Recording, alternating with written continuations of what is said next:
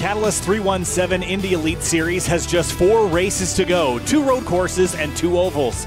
And with the monolithic Indianapolis Motor Speedway lurking in the first week of May, the intensity for positions other than the lead in the championship are heating up. And yeah, Indy may claim to be the biggest event with the biggest audience, but all it takes is some good old Texas spirit to know that everything is bigger in Texas. It's a bigger lap count, too 184 laps on the banks tonight in this Catalyst 317 Triple Crown event. Hi, everybody. Kyle Heyer, joined by Finian Daguna tonight for 184 laps around TMS just outside of Fort Worth. Finian, this racetrack, this series has always put on a good show. It's been a couple of years since we've seen this combination here on SYM TV, and I cannot wait to get engines fired. Yeah, really can't wait to get these guys back going around here. A pretty decent sized field as well. Currently looking at 28 cars ready to tackle the big oval here at Texas one and a half miles. Of course, a couple changes over the years, especially the flattening of turns one and two, but I think it's going to dampen anyone's spirits. They're still going to push just as hard. Taking a look at the track temp, 38.9 degrees Celsius on the track, so pretty warm. Uh, they're not crazy, but a little bit more on the warmer side for these drivers qualifying is out and away, and a couple drivers putting their times down. Yeah, it's uh, as you mentioned, pretty good field size tonight. Qualifying is underway, and they don't have a lot of time to put times on the board either. Just five minutes to lay down your quick laps, and uh, of course, this season uh, has been kind of a slaughter by Brandon Traino. Eight wins out of 11 races that he has run so far this season, so he is far and away the championship favorite. 86 points ahead of Christian Steele and Jacob Oster in the uh, the next car back in third, but. Uh, that doesn't mean that he's going to lay back and just take it easy the next couple of weeks. I'm sure he'll be fighting hard to steal those wins. No one can catch up to him as far as the win counts, but Robert Malechka is the only other driver to win multiple races this season, and uh, we'll see as he sits on provisional pole if he can do it again tonight. Yeah, we'll see definitely if he can do it. Currently sitting uh, solid on the top of the standings, and again, still got some quick drivers left to put some times down. See if anyone can upset that balance at the top. There is Brandon Traino working his way around, cross the line for him, in up to the top by a decent margin as well. Over a tenth of a second ahead. Christian Steele also flying across the start finish line. He's up to second place in the number two. Yeah, that is no joke. And one, two, three in the championship, one, two, three in qualifying. Funny how that works as uh, Andrew Wood and some other uh, IES veterans are working their way around. Uh, this is lap number two for Andrew Wood. First lap didn't count. See what he's got out of turn four, that number 64. Across the stripe, Jacob Oster up to second place in the 16. And Wood at a 24 494 is only going to be good enough for 16th. That's a big surprise. Yeah, Craig Forsyth, you mentioned up to seventh place. AJ Musselman up to third as he rockets across the start finish line. Looking at Andrew Marquez, he's jumped up in the 36 to third. Mark Murphy across the line for him in the 69 machine. He is starting a lap. It's amazing. it's been a couple of weeks since we've done an IES race, and before that, it was a couple of years. And just the speeds that these cars do, it is just unbelievably fast around here. Jesper Orman up to third in the number 53.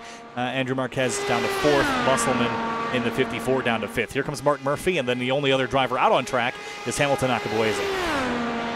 Is actually just ahead of him. He's gone way up on the top side to build up the speed on lap one. I think the 107 can put a pretty decent time down. Mark Murphy also looking quick at the moment in the 69. Of course, it's all on lap number two. You're just building up momentum on that first lap, and then lap number two, keeping it tidy, nice, down as close to the white line as possible. Uh-oh, as Murphy has a bit of a disconnect, and I'll see if that will interrupt his time across the line for him. Ooh, I think that might have messed him up. Wow, Akabueze up to second. And Murphy did steal a 24-118, so 12th place for the 69. Akabueze uh, just 28 thousandths off of Brandon Traino's uh, pole for now. Three drivers did not qualify Lorenzo Bonder, Adam Blocker, and Brian Carey. Uh, we do have uh, Lorenzo Bonder on our side by side tonight, so we'll get to see him. We also have uh, another driver joining us. That is uh, Paulo Vinicius uh, who qualified in 12th, Finian. So that'll be fun, or 10th rather. That'll be fun to watch some faces here on IES. We haven't been able to do that just yet. Yeah, glad to see a couple faces joining into the Zoom call. Get to see a couple drivers, and as we go on for this night, I'm actually kind of surprised Adam Blocker did not qualify. I guess he's decided to work this way from the back. He's a driver. He hasn't made a whole lot of races this season, but when he has made a lot of the races, he's consistently finished pretty much in the top five. So definitely keep an eye on Blocker to work his way up through the field in that 74. It can definitely be a threat. Yeah, seven starts, six top fives for Adam Blocker, puts him 15th in the points. You mentioned the top three in the standings. Traino, Steele, Oster, Uh, they were uh, one, two, three for a while. Uh, Robert Malechka up to fifth in the standings, and then a handful of others that we have to keep our eyes on here tonight uh, as we get into this race here at Texas. One of the big things here, uh, with this being an afternoon race here, Finney, that track temperature is going to be a huge topic of discussion. Uh, the way the track is going to transition over the course of the race. Remember, we've got iRacing's new uh, oval uh, rubbering in model, I guess oval dynamic track is what I was searching for there. Oval refresh. Uh, oval refresh. So, you know, I don't know that I've, I have not seen Texas race at all uh, since that oval refresh. I don't know how much it will change this place, but I, I can tell you it won't do nothing. Yeah, no, iRacing really has done some work to it, and I don't know if it's just the, uh, what, what is it called, the placebo effect? Uh, you know, just uh, anticipating that it's racing better, but what we've seen for at least the stock car side of things, the racing definitely has seemed a lot better. A lot more drivers using different lines, able to use those different lines, and for IndyCars, a little bit more fickle. But I think if, if that does play out, if they're, you know, where the way the track rubber's in plays out over the course of the race, and we got 184 laps here tonight, that's quite a few laps put down. Uh, if it will actually affect the racing, if so, I think the drivers will definitely enjoy that because they'd rather do that than follow single file for these 184 laps. Yeah, tell me about Texas here a little bit because we can see down in turns one and two how wide it is and how narrow three and four is comparatively. They've knocked the banking down over there. How is that going to affect these cars? Where do you make passes around this one and a half mile racetrack? Really, so three and four, because they've been pretty much left untouched, just repaved over.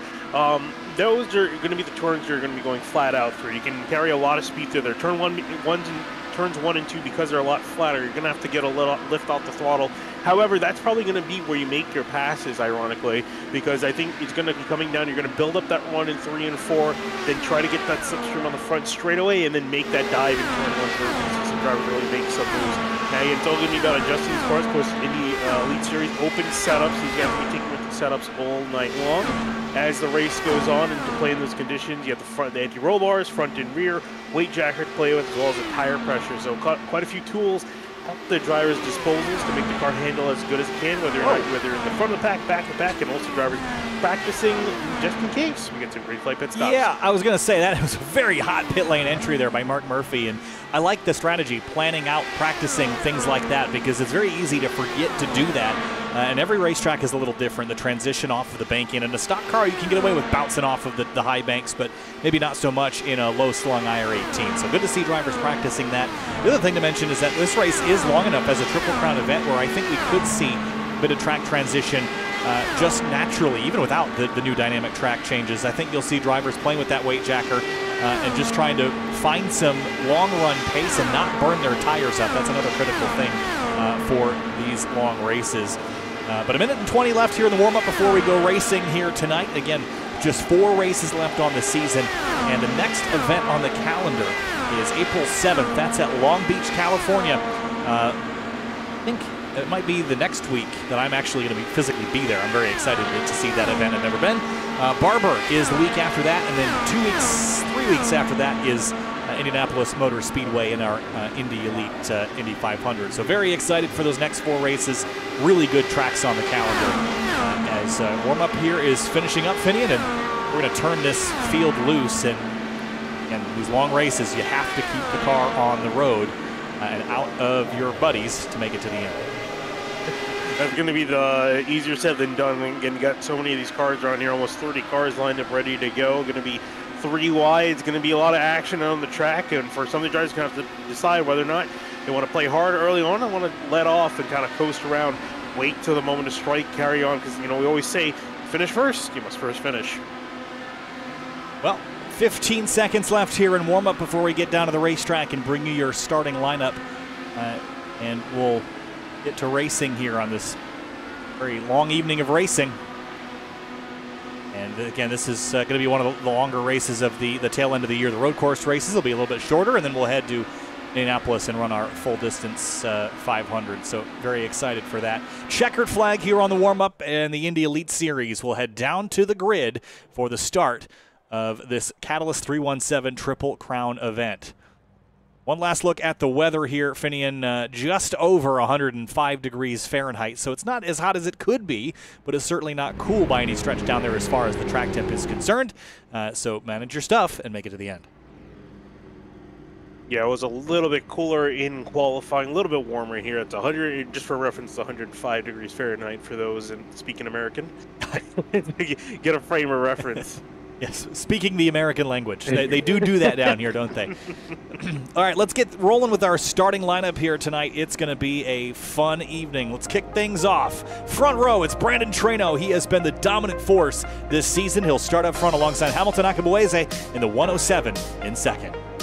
Moving back to row number two, it's going to be Jacob Oster, line up in the 16 in third. Jesper Orman in the 53, lined up in fourth. Fifth place, it's Andrew Marquez in the number 36, and AJ Musselman rolls off sixth in the number 54.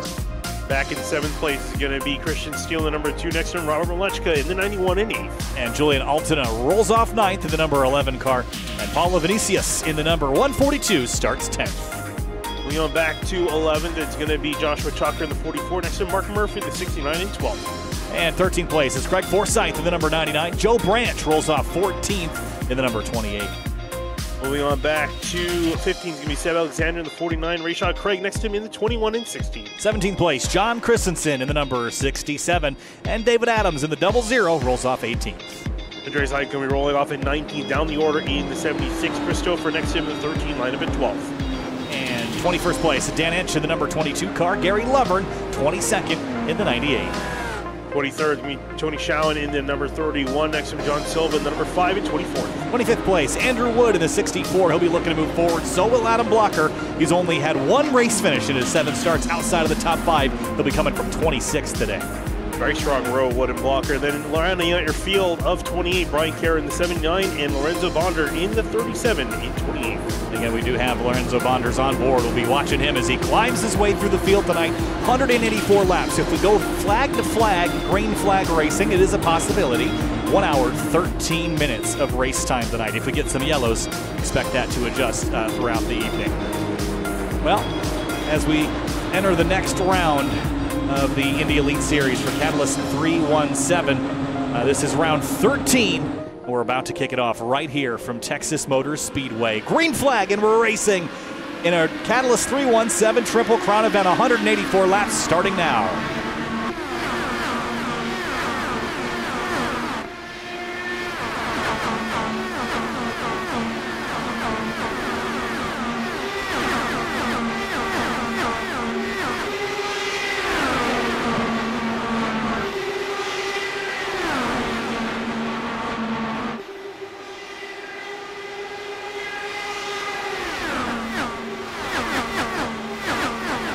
Just like that, a lap is done. Man, these cars are fast every time we race and take the green flag. I'm aware of how just incredibly rapid these things are. Orman takes the lead, but to the bottom comes the 91 Robert Malechka to turn three. Big moves early for the 91. Yeah, big dive from the bottom of the track. Going to go from fourth to second place in just a handful of corners. Big run on the back of Orman, but he's going to back off and lay in behind Traino back now to third. Of course, it's all waiting game.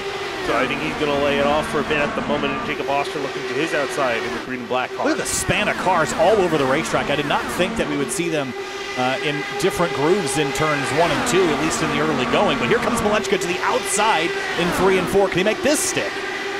Well, remember, for a lot of these drivers, it's not just a matter of searching for grip, it's a matter of searching for that cleaner. To rocket past the start finish line. You can barely see him for a frame of a second. Just a blur of colors going past.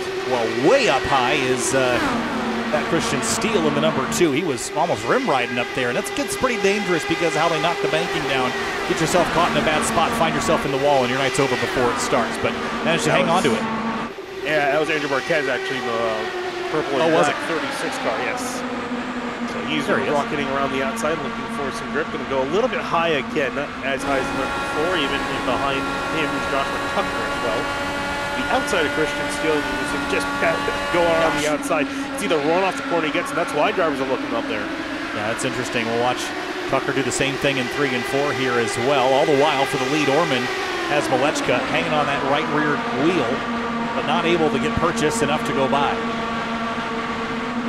Gonna tuck back in behind. Orman trying to control the lead of this race. Malechka making pokes and prods where he can. Gonna try to dive Whoa. catch Orman sleeping. Whoa! It almost gets loose as he catches the paint. Got a little bit sideways was able to save it, but that was a big dive and almost a big wreck there. Yeah, he was three. daring him down there in turns three uh, and four. almost came together there. Christian Steele again chasing up the hill. There he goes now in the two, behind those two pink cars, Akabueze and Marquez. Ooh, and actually just uh, in behind them, Joshua Tucker, uh, the last lap, he made a dive middle wide, almost took out uh, Hamilton Akabueze. Surprised got to back out of it to let him on through. But uh, Joshua Tucker, big moves early on, up to sixth place. That's up six spots up to fifth. A lot more mobility than I thought we would see. And here comes Malechka to the bottom now, got underneath Orman. And this time he should be able to complete the. Not quite. Orman throttles up on the exit, and it's a drag race down the back straightaway here, lap eight. Not going to give it up. Still in the fight, trying to fight for that spot. And Drew will go. Robert Malechka for now. There's the lap led for the number 91. Lap one on the day.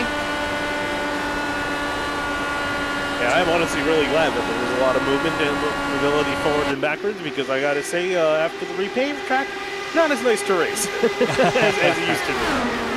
Yeah, we'll see how the track transitions, but at least early when everyone's cars are driving well, no one's holding back anything at the moment. Orman got a great run out of turn four. Where's he going to go with it? To the middle, to the top, and Brandon Traino sizing both of them up. I don't think he even let a lap off the pole, did he? He lost the lead by the time they got out of turn two, so he'd like to come back and take it back. Yeah, it's really interesting to have uh, the ones you guys be able to carry out of turn two, even running that long way around. Despite it being flatter, they're able to carry a great amount of speed on the high side out of turn two. I think it's really helping them actually make some moves into turn three. Rather just in the front straightaway as you look at Jesper Orman trying to work around the outside turn one. Just, I mean, it looks like Homestead out there. Everyone's just everywhere, which I was not anticipating. A little bit of movement in the back there. Uh, Boise, Mark Murphy, and AJ Musselman and engaged in a bit of a scrap in the tail half of the top 10. Musselman in, whoop, in that uh, the yellow car there. Off into one and goes way up high. Just trying to see again where, where the clean air is, where the car is going to be able to grip up, not just mechanically with the tires on the track, but aerodynamically as well. May have to run high, may have to run middle, may have to run low. You've got to be dynamic with that. Also trying to work the outside so we can get past Vincent Akabueze in the 107.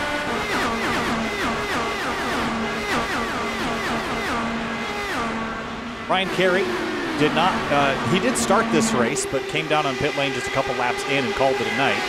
Didn't see any dramas with him, but didn't last very long. Here's Mark Murphy on the outside of Andrew Marquez. That's a, uh, Marquez and uh, Akabueze have two very similar looking cars, don't they?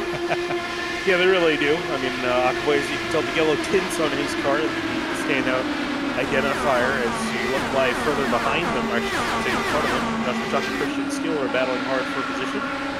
Steele able to get by the number two, or sorry, able to get by number 44, Tucker. Mark Murphy is on a mission up five spots and looking for a sixth now. Going forward pretty quickly. Well, Mark Murphy definitely a quick driver in an Indy car. Gets by me really quickly out of the race. well, that could be said for a lot of people probably. He's able to get one more spot up to sixth place for him. Andrew Marquez working on the outside of Hamilton Akabueze. Eh? Akabueze not actually making, we talked about drivers making slow progress. He's actually done the opposite. He's been drifting slowly back. Not sure this is part of a plan or not to conserve his run. But Andrew Marquez working on the outside. Battle the two purple cars for Magenta. Team i5G doesn't do a lot of things accidentally, but I did just see some accidents happen in turns one and two, and it's John Christensen in the wall, and I think he had another car with him. Caution is out, lap 16. Definitely was the cause of the caution. Had a little bit of help. Oh, he was. That was Craig if he made contact with.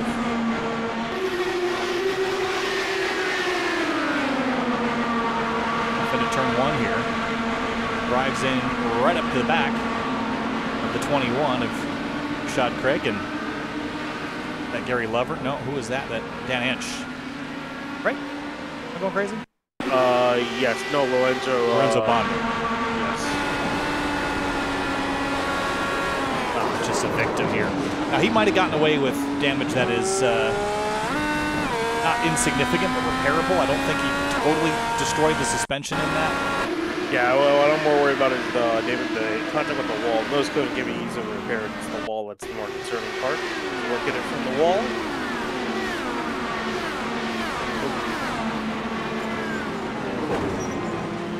Three drivers with damage.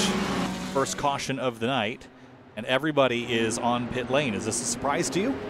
No, this is not uh, taking. We can expect these guys to go about 40 laps on a tank, so about, we're almost just about halfway through the fuel run.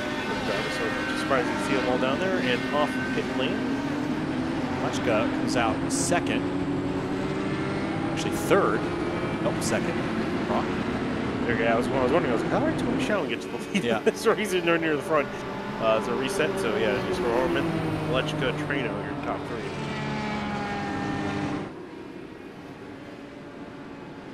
Left hand side of the screen is your running order post pit stop here. First incident of the day between John Christensen, Lorenzo Bonder, and Rashad Craig.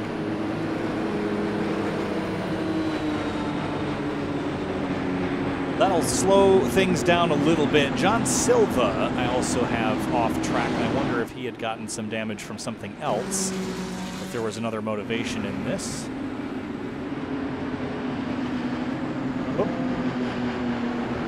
Nope, Nope. he just lost connection. Oh, that is unfortunate. Well, I guess fortunate that it was under yellow because it could be a lot worse. Now, I don't know. Really early in a really long race, Finian, I think there's a possibility that you can get a couple of those laps back. So I would not give up throwing the towel that soon. No.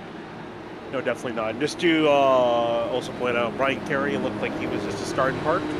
Okay. So he called it uh, on his own terms early on. So we are down to 25. And let's see, actually, well, 26 now. John Silva's reconnected. So I think he might lose the lap or two, depending on if he can get back onto the track. Take one down, pass it around. 25 IR18s on Texas. Not how the song goes, but figure if they were a motorsports fan, maybe it would have. You know, one thing I'm actually def- uh, looking interested for is because iRacing obviously announced that they are up re-updating his car, so it's getting to the 2024 specs. Um, one of those things that this car is going to go on a bit of a diet, going to lose about I think 100 pounds. Wow, worth of weight. Yeah, they've trimmed off. I I think it's like 70-ish pounds. They trimmed off some weight on the aero screen. They completely changed. They changed the uh, transmission housing from titanium, I think, to magnesium, which is like or the other way around. I'm not quite sure. But put this car on a diet because they're anticipating the hybrid system this year that'll add 100 pounds. So lose 100 pounds, then gain it right back. But gain it back so probably I'm in a curious different to see how it's going to affect driving with this car when it gets a little bit lighter for at least half the year. We'll see how things go. Layton with championships on the line. Green flag. And Jesper Orman brings the field here for the Catalyst 317 Indy Elite Series back underway at Texas. Crush tires and everyone's cars are getting back up to speed, 200 plus miles an hour. Now Whoa. into the back straightaway. Oh, wow. AJ Musselman all the way on the apron. It looks like for him, he just got loose out of turn two. I think it was quickly. I'm not sure if he had the car misconfigured or just with cold tires. But looking back up at the top of the arc, Brandon Traino, he's wasting no time looking the outside of Robert Malechka than anyone. Yeah, again, he has, still has not led a lap yet today. I think he'd like to. Here he goes to the bottom underneath Robert Malechka into turn three and makes that pass look easy. Everyone feels like Superman on fresh Firestones, Finian, but give it 10, 15 laps. We saw drivers begin to struggle to make passes. Yeah, whoa! Almost a wreck out of a wreck out of turn four. Big crash. AJ Musselman cartwheeling over the front straightaway. Huge crash. Oh, he's to clip somebody. Oh, man, horrible, horrible collision. And I think, was that, man, there was a couple of cars involved in that, but Musselman got clipped twice. That was ugly.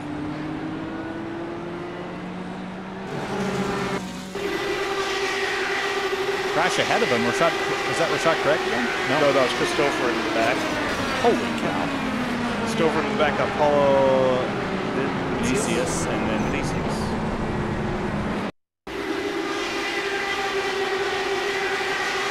Yeah, Musselman just a victim here. Oh, man, just climbs it and gets tripped. Oh, and underneath him. Is that Andreas Ike that went underneath I him? think it was. Oh yeah, it was. Wow. That's going to be a heck of an onboard to watch. Watch this car get airborne right here. Climbs up and over and just, just gets vaulted.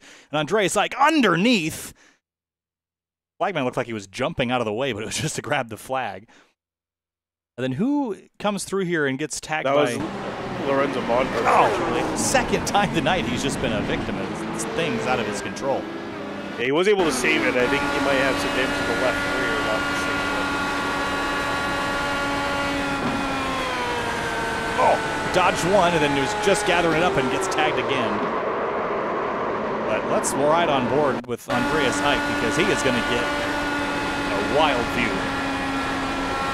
Oh, man. That's a go ground moment. I'll say.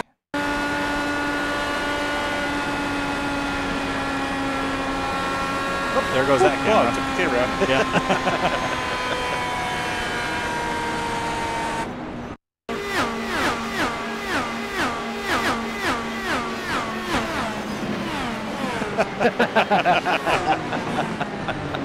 I figured that might be entertaining. oh man. Well, AJ's night is over. That's what's fun about sim racing is that everybody's okay. I mean, they're okay uh, physically. Yeah. Emotionally, probably not as much. So two cautions to start this one off. One at lap 16 and then another uh, on lap 20. Christensen was the uh, main driver involved in the first yellow. He is currently scored out of the race. And AJ Musselman, uh, yes, also out. uh, and it looks like Brian Carey, again, a start and park there. John Silva is back on the road. Then Paulo Vinicius is on pit lane getting repairs at the moment. And uh, I think Lorenzo Bonder should be able to get back rolling again. There's Paulo sitting in the box, just waiting to go. Going in. John Silva, he's also jumped back out on the track. He's four laps down, though, unfortunately. So that leaves us with 23 cars running? Potentially, if, uh, Yes. depending on Lorenzo Bonna gets back out on the track. Depending with Paul Vinicius. Luck has just been not good tonight, has it? No. I mean, we always say sometimes you're the bat, sometimes you're the ball. Well, they have thrown that pitch a couple of times, haven't they? Oh, yeah. Well, SYM TV's got one more busy week before things get a little quieter around here. This week, we've got the season finale at Chicagoland Speedway for the Area Cup Series, Truck Series, and the Florida State Builders Area Pro Series. Uh, that is Monday, Tuesday, and Thursday at 8:40 Eastern. We've got the Full Send Sim Spec Miata Series coming to a close at Virginia International Raceway. That will be Tuesday night at 7 o'clock Eastern. And then Wednesday, the DC Region SCCA continues their uh, efforts. I don't even know where they are this week. Spot. Ah, Spa Francorchamps. So that will be where the FIA F4 cars are, and that will, uh, after Thursday, we'll round out another week of racing. And then in just over two weeks, uh, we go racing. Actually, is it just over? Just under, two weeks. Just under two weeks. We go racing with the Toyota GR Cup North America Esports League. That will be broadcast on the SRO Motorsports channels, uh, notably SRO Motorsports Twitch, and likely the Toyota Racing channels as well. Very excited to be a part of that. Fitting will be uh, race control. Will be um, Mr. Massey. Oh. I don't know. I don't know how you feel about keep calling, calling me Michael Massey. And uh, Hopefully, I'm not going to be like Michael well, Massey. you know, he, I mean, he was very famous. I don't think I wanted that kind of relationship with Toyota of all, of all companies, Toyota and SRO. Well, you know, at least I, I hired you to blame, basically. Uh, and I'm the then fall I'll guy. be joined by Justin Prince in the booth uh, as we embark on a seven round championship uh, imitating the real world uh, Toyota GR Cup North America Series. a week and actually, before. too, if you if you want to be a part of this, you still have the chance to qualify. It's under I, it's an official iRacing Time Attack event. If you live in North America, go ahead and qualify. See if you can be one of the top 40. There's some quick cookies in that series, let me tell you.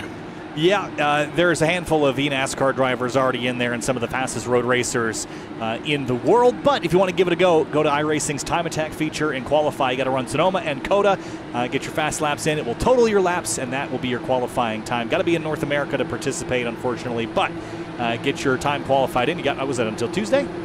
Tomorrow. Until tomorrow. Tomorrow's Monday. Green flag.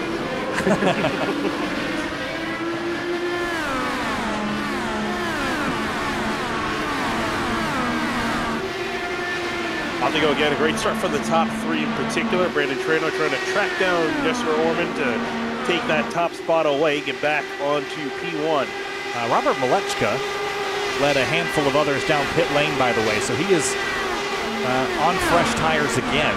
Six laps newer than everybody else. I wonder if that'll be significant enough to get him any spots or if it'll put him in harm's way potentially. I would think the latter, as here comes Traino up the outside here in one and two, going for the lead. Actually, didn't realize he came down pit lane. I didn't even think he would have thought of coming Snuck down away. pit lane because you got that caution so quickly after the first. I mean, there is only a minor difference, relatively minor difference. I, I don't think it was worth the risk, but we'll see how it plays out for him. He should try to be able to work up a little bit easier than some of the other guys back here. But for the lead, though, Brandon Traino working the outside of Orman. Into turn one they go. Trying to get this outer groove to be just a little bit faster. Line of stern behind them, and you see Orman taking that shallow line into turn three. That's the kind of that's to play defense offensively. Just drive down into the corner a little sooner. Make sure no one's going to sneak up your inside right before the turn. Mark Murphy all the back of Christian Oh, wow. Here comes Traino to the inside. Big send down in turn one. They almost came together as Orman turned in, and Traino was there. Still going to be staying on top. Traino going to look back to the outside.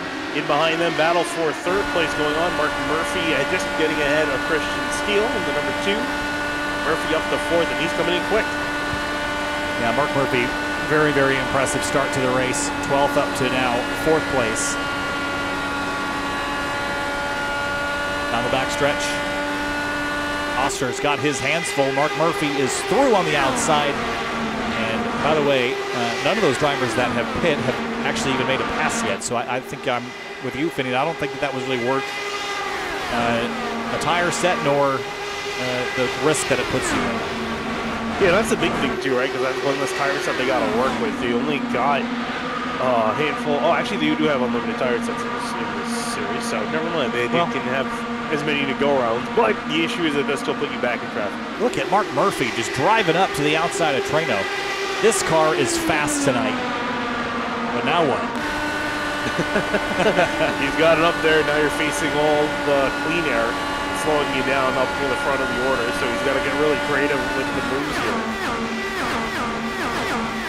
Some may argue he might not have to make too many moves, but he's going to definitely try to go for it here. Going to go to the inside of Traino, went Whoa. high in three and four, almost making wheel wheel contact in three and four.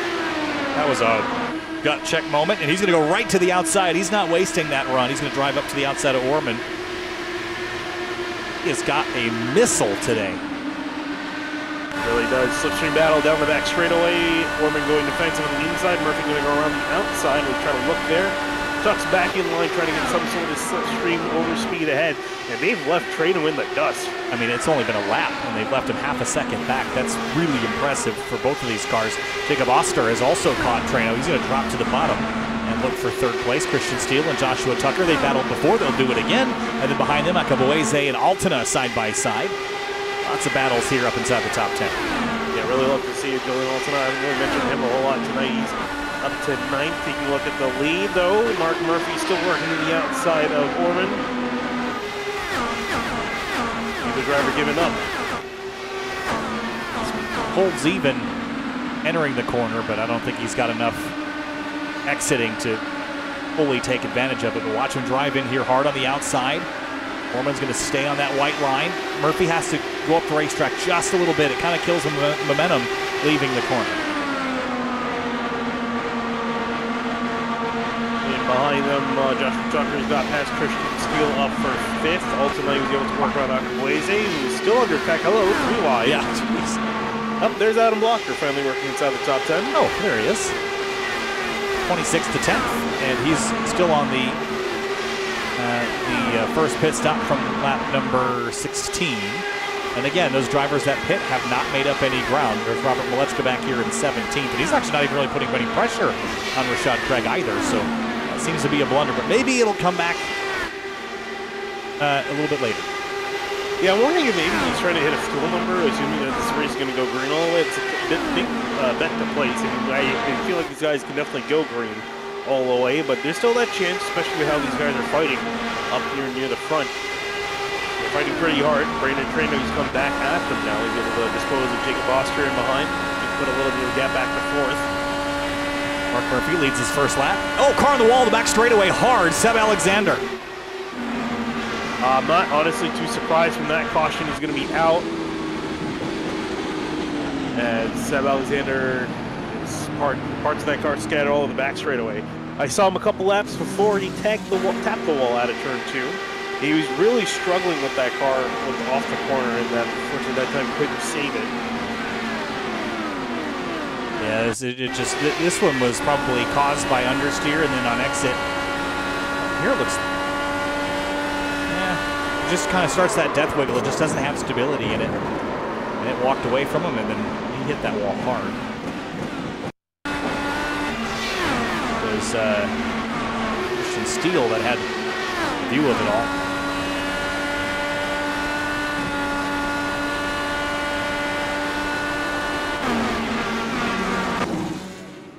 Now what?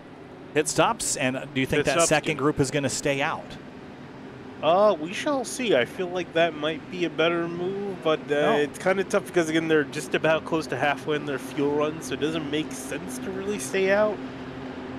So they're kind of forced to come back in. So I guess you can kind of argue that probably didn't not the best move for Malechka putting him back down the order. Yeah, it just puts you. Oh, it still has sorry, I saw it, uh, I think it was blocker pop back out. It just puts you in harm's way. I don't, I don't necessarily love doing that this early. In the, I mean, I don't know, it's experiment time, right? You mess up now and it's not going to hurt you, but you just have to be aware that cars around you are having problems and you don't want to get caught up in theirs. Quick pit stops, too, under eight seconds.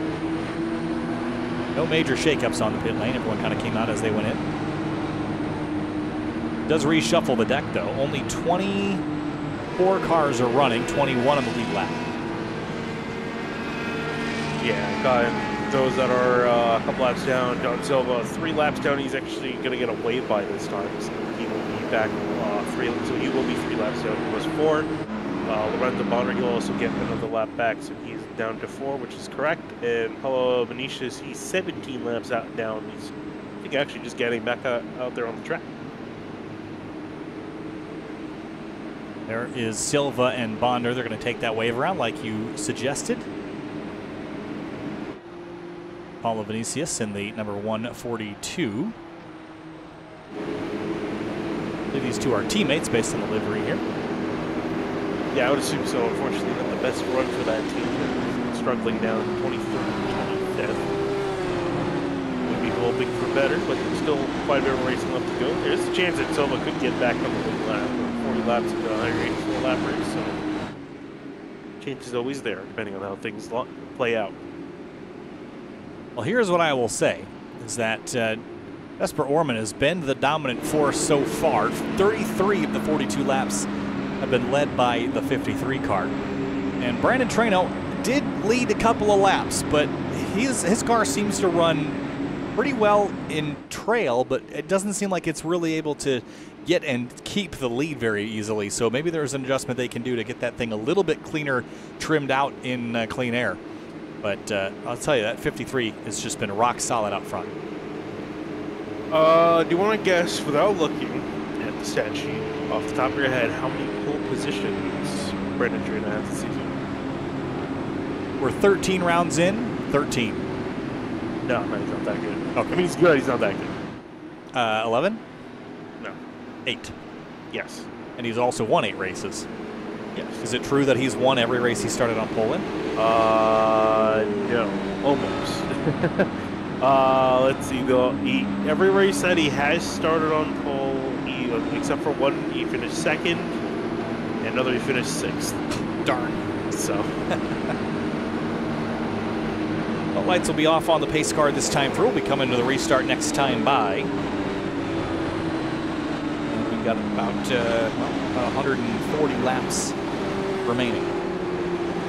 And I assume at some point this race is going to get into that rhythm that we anticipate. And when you do that, the laps are going to click off pretty quickly. But uh, we haven't really had to experience green flag pit stops or any kind of strategy so far besides drivers uh, coming in for six lap fresher Firestones, which didn't really seem to do much. So we'll keep our eye on the tire wear and things of, of the sort, but it doesn't really seem to be a winning strategy so far. It definitely does, and I think you know, that track position is something worth it. It is definitely possible to make up some ground, make some moves, but you know, there's only so much you can do out there on the racetrack. So I think you're definitely going to want to have the track position when it does come around. Seb Alexander is going to call it a night. And the 49 is done for the evening. So is Musselman, Christensen, and obviously Brian Carey, who did a start park.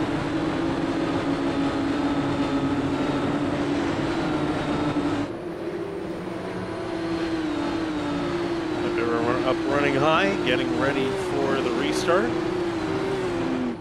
Orman leading the field back down. Mark Murphy sitting in second place has a chance of getting the lead here, depending on how things play out. Oh, though, Orman immediately going back. We're back again here in Texas. Lap 44 back underway, and Orman not waiting around for anybody. Oh, and, and Traino not waiting around for anyone. Immediately dives the inside of Murphy, catching him sleeping in turn one. Yeah, Mark Murphy's been really good a couple laps in, but it, it seems like the initial restart, maybe that nine uh, shoots off the top a little bit better. So move the nine back up to second place. He's going to run mid-track here in three and four. That's interesting. Fully not up to speed yet, and uh, not electing for the bottom of the road. And they come back up. Big Whoa. dive from Traino the inside of Orman, trying to make a move. Not going to quite work. Uh, it's too tight of a corner, too flat down there, and he's going to have to back out of it. That was a scary dive there. These guys are just surprising each other with these big sends down in, in three. And, and, I think you can get away with that on lap 45, but on lap 145, I think that'll be a crash. Cross the start finish line. Lap 45 is complete. Here comes Traino again to the outside, this time trying the right. Go to the outside. The issue is you need to try to get that run off the corner, but not going to be able to be established alongside, and actually doesn't get that much better of a run. Going to race with Orman down to the white line. There's Mark Murphy looking up high in three and four. These guys are playing chicken at 220 miles an hour on the back straightaway. Murphy again is going to try to squeeze up to the outside. Traino tries to shut the door. He will, but I don't think Murphy's going to appreciate that. This is getting raunchy up front here. I did not expect them to be getting this hard after it here early on. They're definitely starting to go at it here fairly, uh, what I would say is fairly early on in this race. Look at Murphy to the inside, late in turn four. They are just finding any place to put this IR-18, and they're going for it. Saw the door open, immediately going to use the momentum to shoot to the outside of Orman, get that clean air, maybe build up a run onto the back straightaway. He'll get a great run, well, really great run out of turn two. He's going to be high in three and four.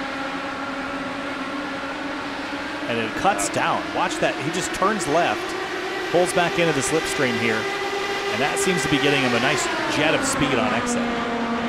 Issue is though the inside lane is always, you, you know, usually nine times out of ten the preferred way around these speedway tracks.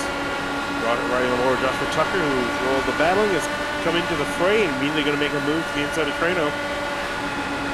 11th up to third for Joshua Tucker. And interesting that Mark also started on the same row, row six. Both of them now second and third. And continuing to move forward. Um, the driver continuing to move forward. Adam Walker I think we were expecting him to get here. It was just a matter of time. Murphy again up to the outside, having a look for the lead here. Lap 50 is complete. And over a quarter of the way through this race. Still a lot of left to go. Tucker getting a lot of dirty air on the high side, back to back off. Lose a lot of time to Murphy. Again, look at Orman's line into turn three. It just cuts down. He turns at the entrance to the corner instead of arcing it in for the apex because you've got enough grip where you don't need, necessarily need to arc it in. And he's just defending that way. People are having a hard time slipping the car down the inside, but when they do, it gets very dicey because he commits so early to the corner the, and you using the grip that this car has available, and you got to block off that line, otherwise people are going to make a pass. And the team drivers aren't afraid to make that dive. Looking a little bit further back, this is Stouffer versus Andreas Ike for 12th place. Watch Stouffer here out of turn two. Green car. Get a little bit loose. Who taps the wall? That car is really tight inside to get off turn two. Mark Murphy again continues his assault on the outside of Jesper Orman. They're just clicking away laps now. Picking him up, putting him down. Tucker also close in behind. Tucker, they're not quite able to get as close as he can to these top two. He's kind of stuck back there in third.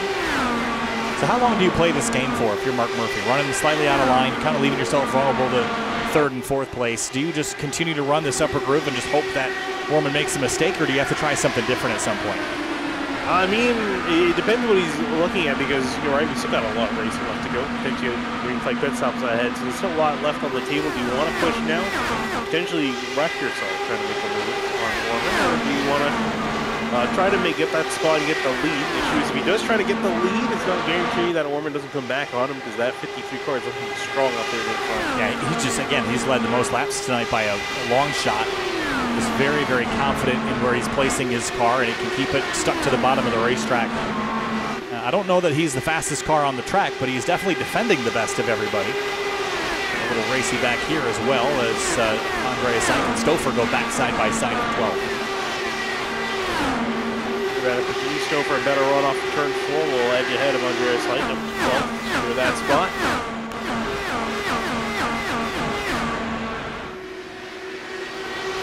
Oh, oh Josh Tucker in the wall. Oh, that's a decent amount of damage. Yeah, that'll be probably, if not race ending, at least run ending. That was a hard hit. Yeah, no meatball for him, but that's definitely going to damage the suspension. Yeah, just it just pushes, pushes, yeah. pushes. By the time you realize it's too late, bam. Yeah, what, what really hurt him was uh, Traino cut across his nose as well as coming out of the corner. He faced that dirty air. The car just could not grip up, so he's down on pit lane going to try to get repairs, but it's a brilliant fortune for that car because it looked really strong. Yeah, a top five car for sure, at least in the early stages here. See if uh, stays in the car. Looks like he will, so it just goes up on jacks as Mark Murphy again tries the upper groove into one and two. Trying to find something. Oh, he scraped the wall out of two. Uh, actually, he did not. He got there some ghost effect. Uh, he kept off the wall, but he got very close. And I was just about to say, I think we're getting to the point where he starts starting to get a little bit more worn out here, approaching 20 laps into the run. Grip's starting to go away. It's like when you get alongside someone on the outside, you're kind of trusting them that, that they're going to lift. And maybe there's a strength in that. If you can go up yeah. the outside of somebody and make them lift. Or, uh, alternatively, they don't, you end up in the fence. But, I mean, I think that's what worth a try. Also doesn't help is the fact that it is currently 113 degrees on the track Fahrenheit. It's 45 degrees Celsius. It's getting a little bit more slick out there. Tires are getting worn out on this run, so less grip in general. Something guys drivers have to adjust to. It's still pretty early in the afternoon. Oh, it's going to get a lot hotter, too. It's going to, uh, we're definitely not going to get into that, but 4 p.m. on the track, it's going to be 82 degrees Fahrenheit. Ooh two degrees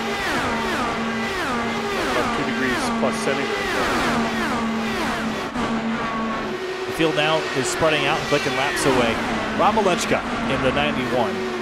Fifth in the standings coming into the night. Started this race eighth.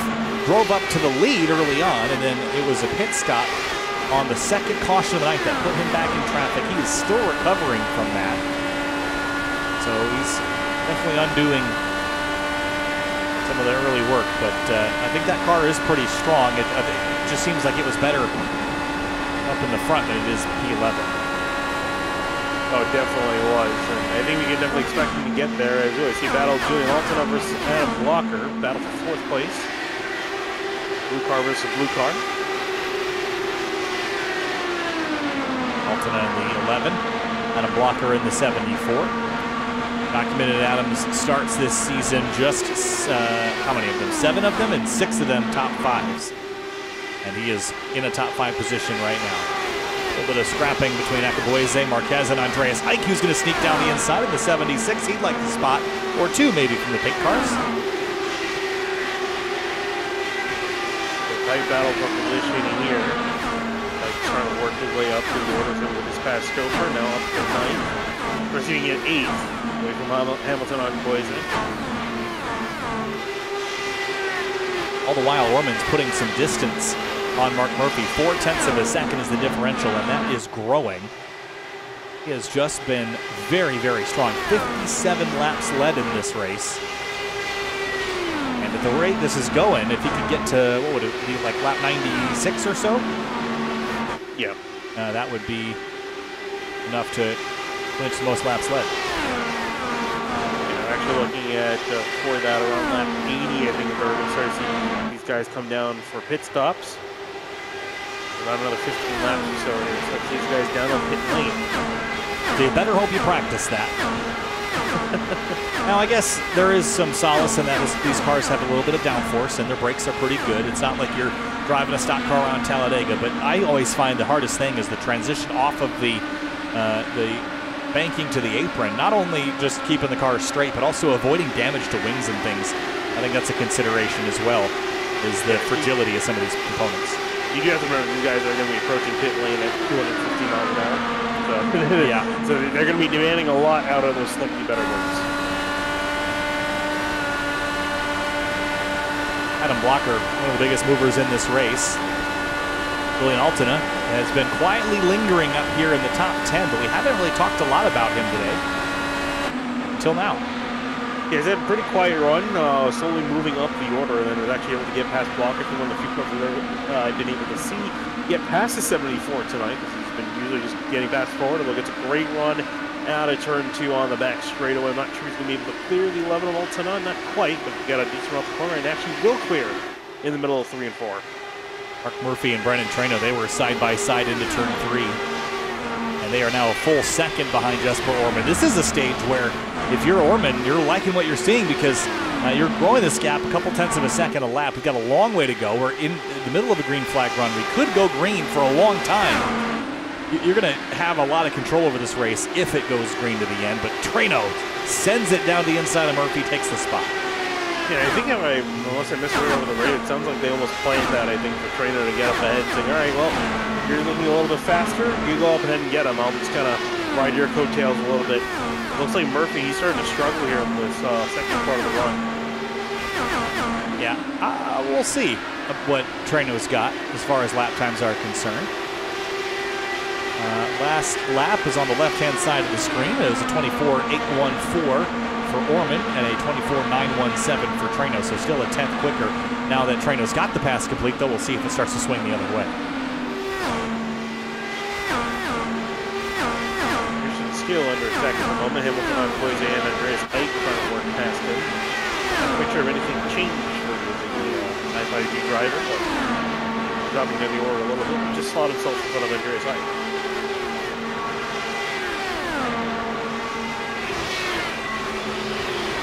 Orman was quicker again by a tenth and expands to a second and a half. Andreas Ike is still side by side with Steele. Steele just pulls ahead.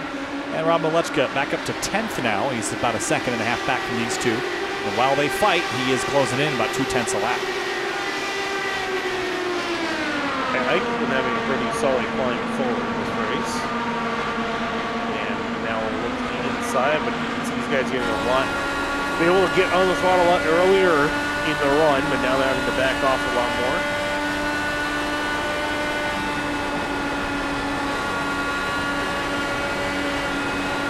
Three or four, they pretty much keep it flat out, didn't bank. Fastest car on the racetrack last time was still the 53.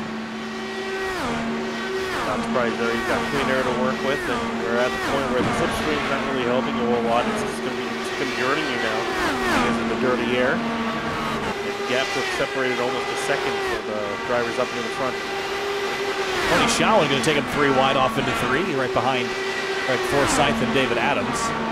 This is a good little scrap here for 13th. The drivers all flying in formation there for a moment.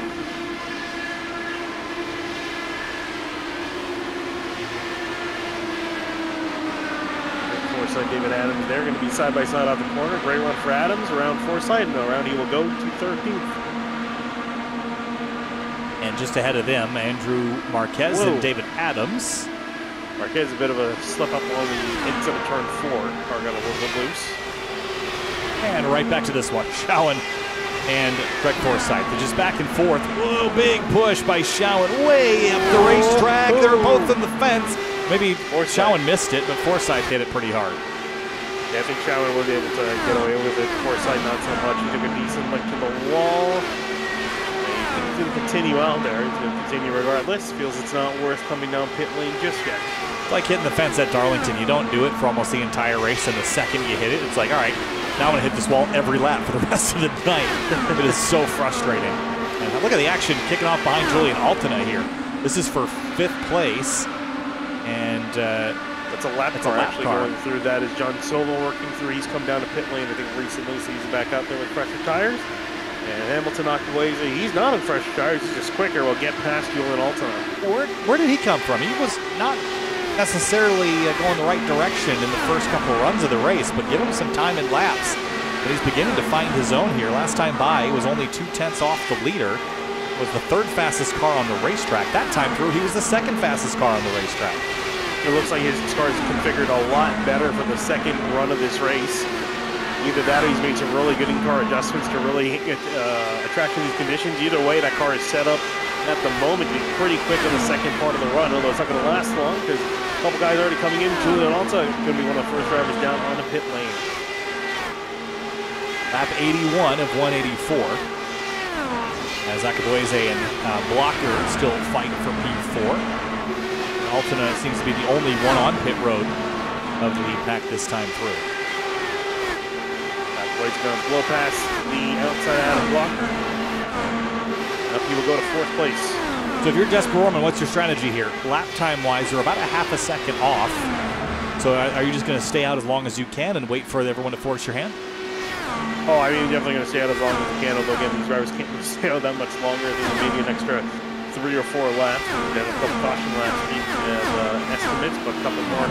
And here comes the leader. Marquez. And there's the leader. Orman down. A couple more coming down. There's Traino coming down the pit lane as well. It's going to start getting a lot more busy. Mark Murphy also down 69.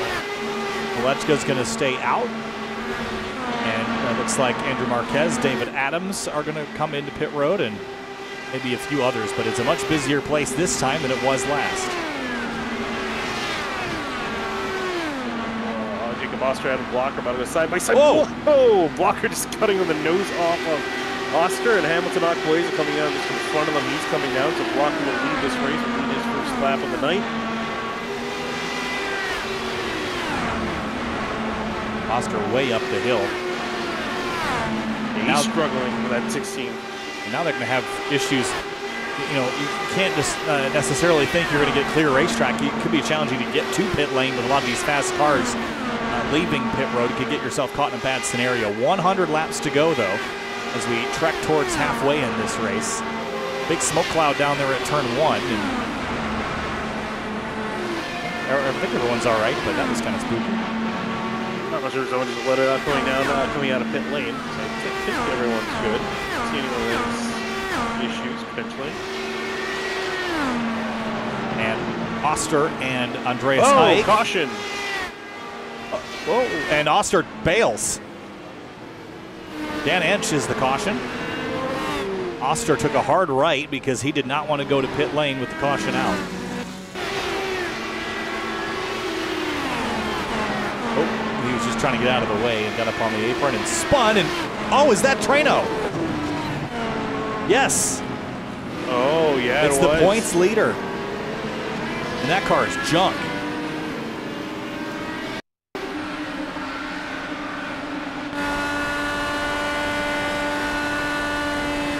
Wow.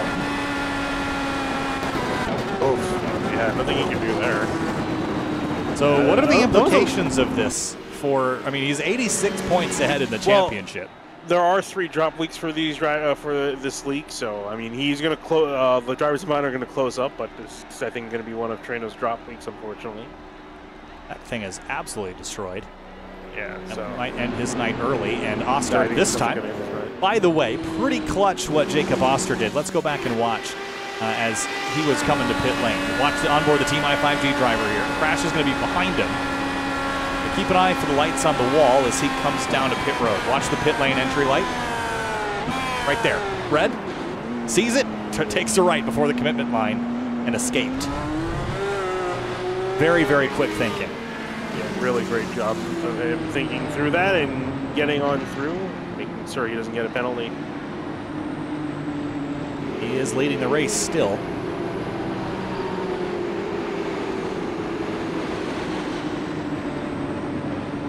I don't want to say that we've had a lot of attrition, but we haven't had a little bit.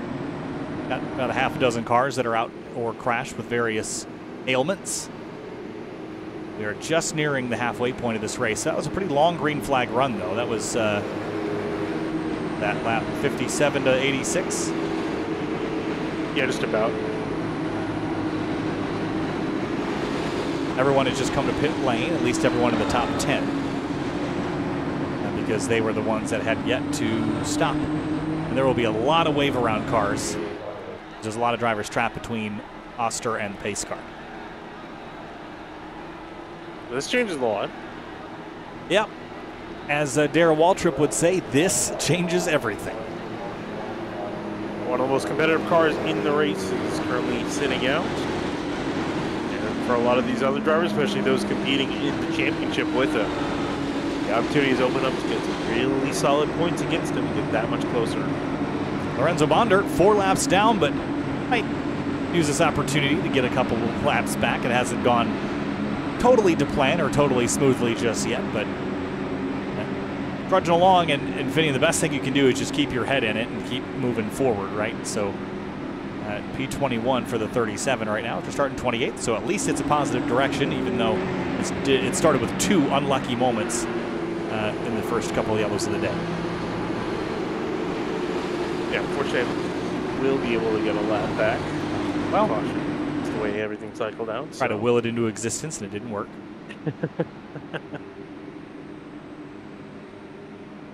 and a reminder for those interested in the Toyota GR Cup North America Esports League, if you'd like to participate in uh, a great series with a fantastic race car, uh, Toyota GR Cup, uh, they are running an official esports series with SRO Motorsports America that uh, Finian and I will be operating behind the scenes. I'll be broadcasting and announcing. Finian will be race control.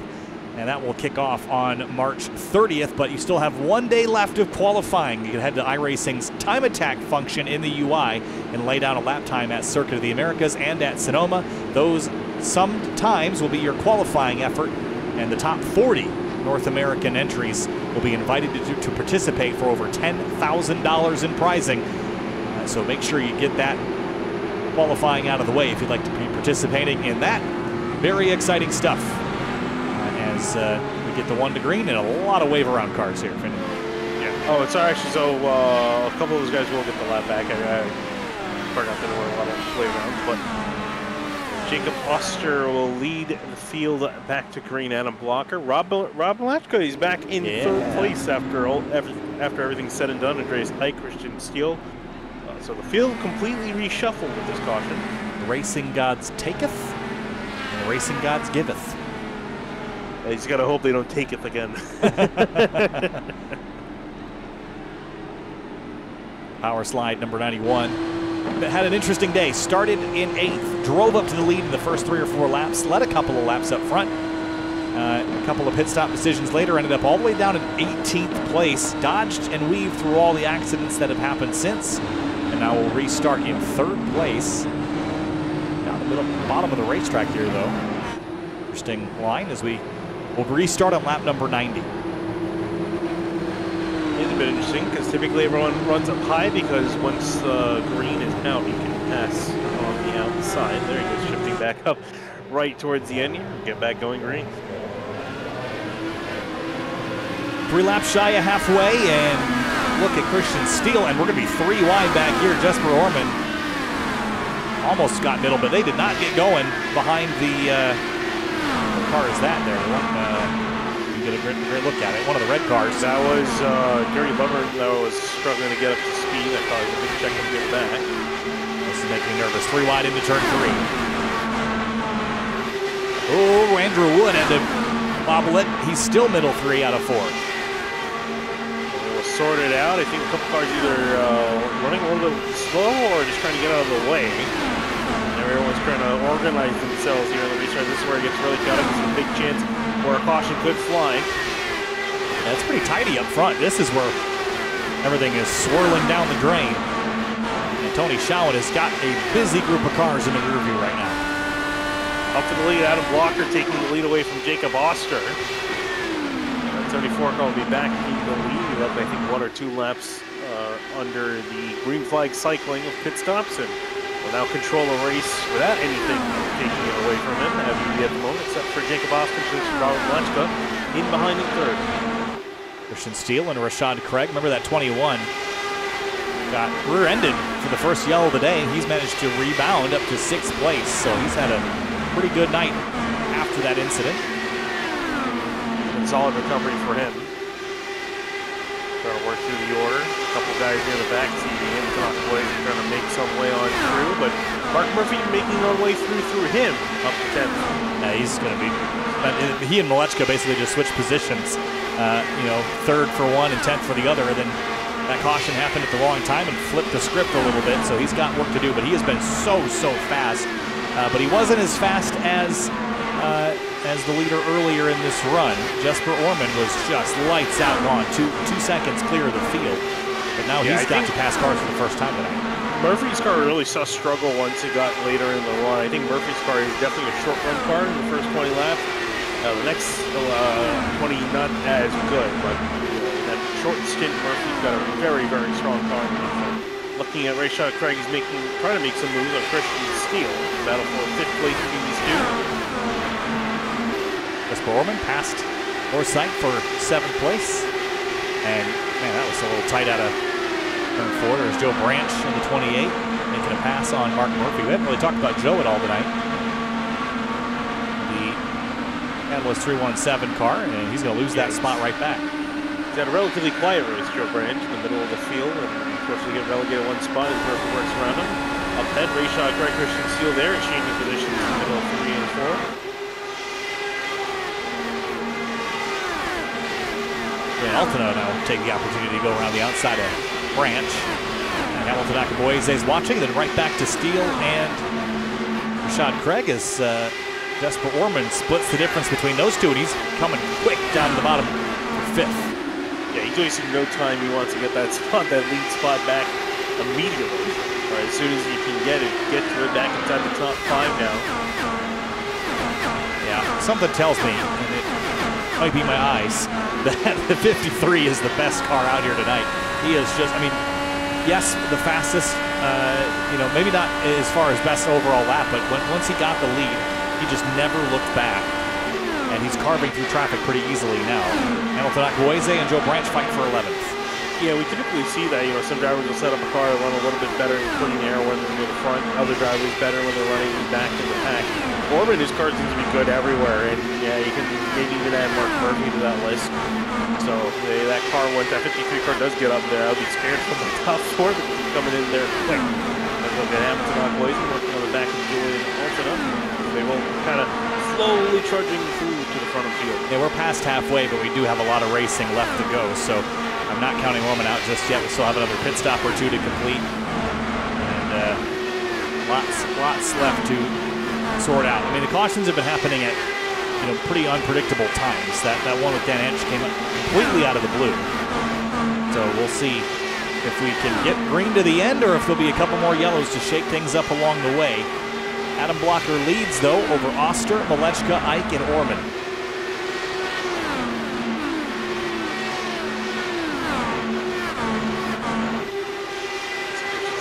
To defend off of uh, Mark Murphy. Murphy will go to the inside.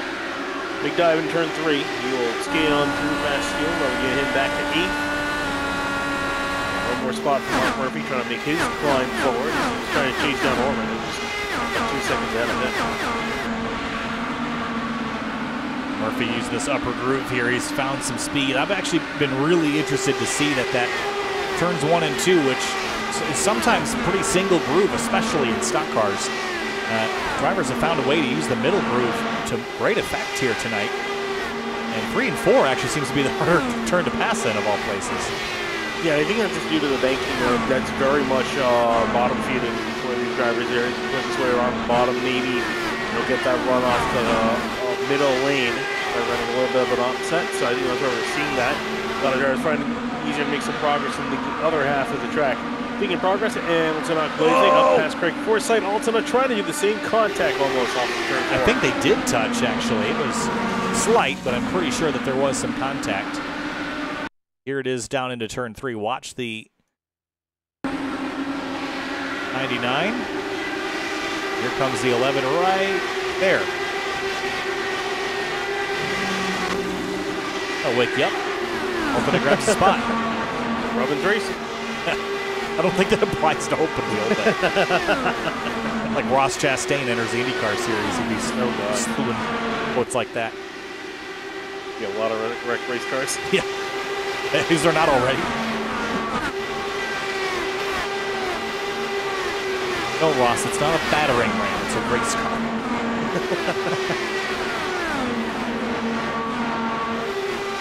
Guess Roman's about to uh, claim his next victim.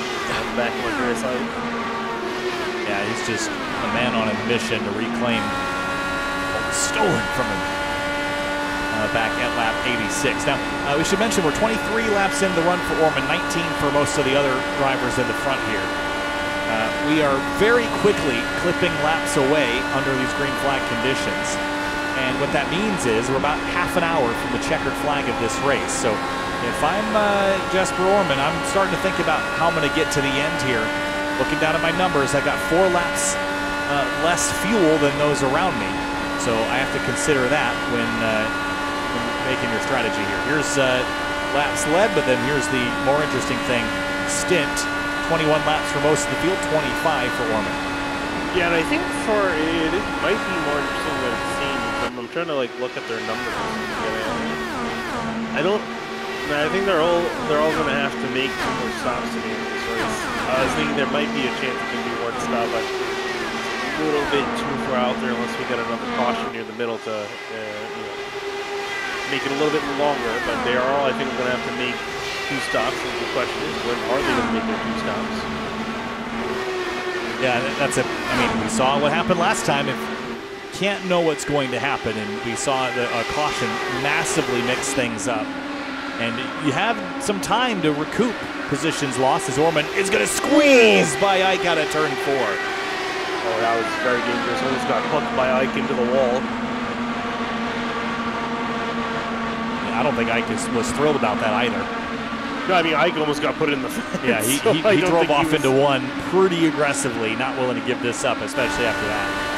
You know, we don't see Andreas like in that. No, I, I mean, I wouldn't even know what that would look like except right there. I mean, I feel if- like it takes a lot. I mean, Andreas Ike's angry as I'm going to drive into the corner on the outside of you and pass you again. That's very clinical.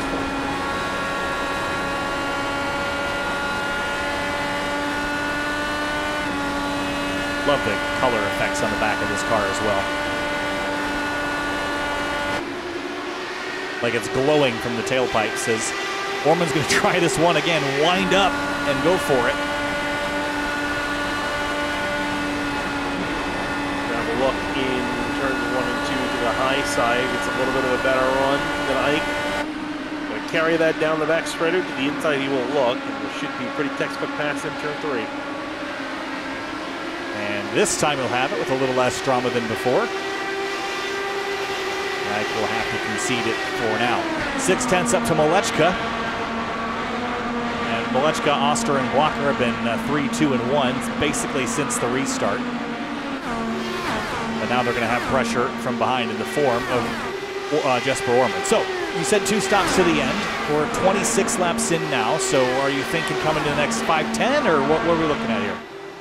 I don't know. I feel like for the drivers, they might as well just kind of run it out. I don't think they're really going to save much on tires, I, well, unless they're really running in that air. But I don't know. It's kind of, it's kind of tough to. You, I shouldn't really say that actually. I think it might be worth coming down a little bit early just to get out of the dirty air.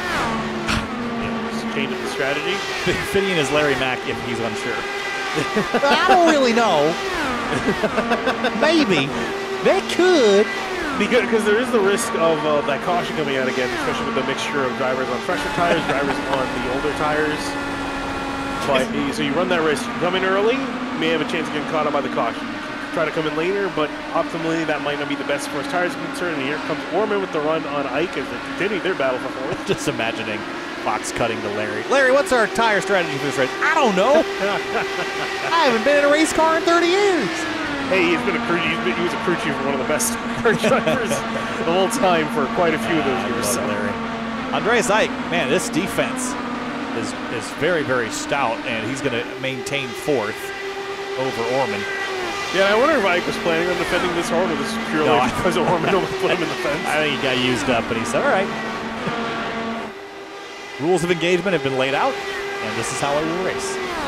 Looking around uh, potentially about 10 to 15 laps left in the run. Mark Murphy actually down one lane, but very early.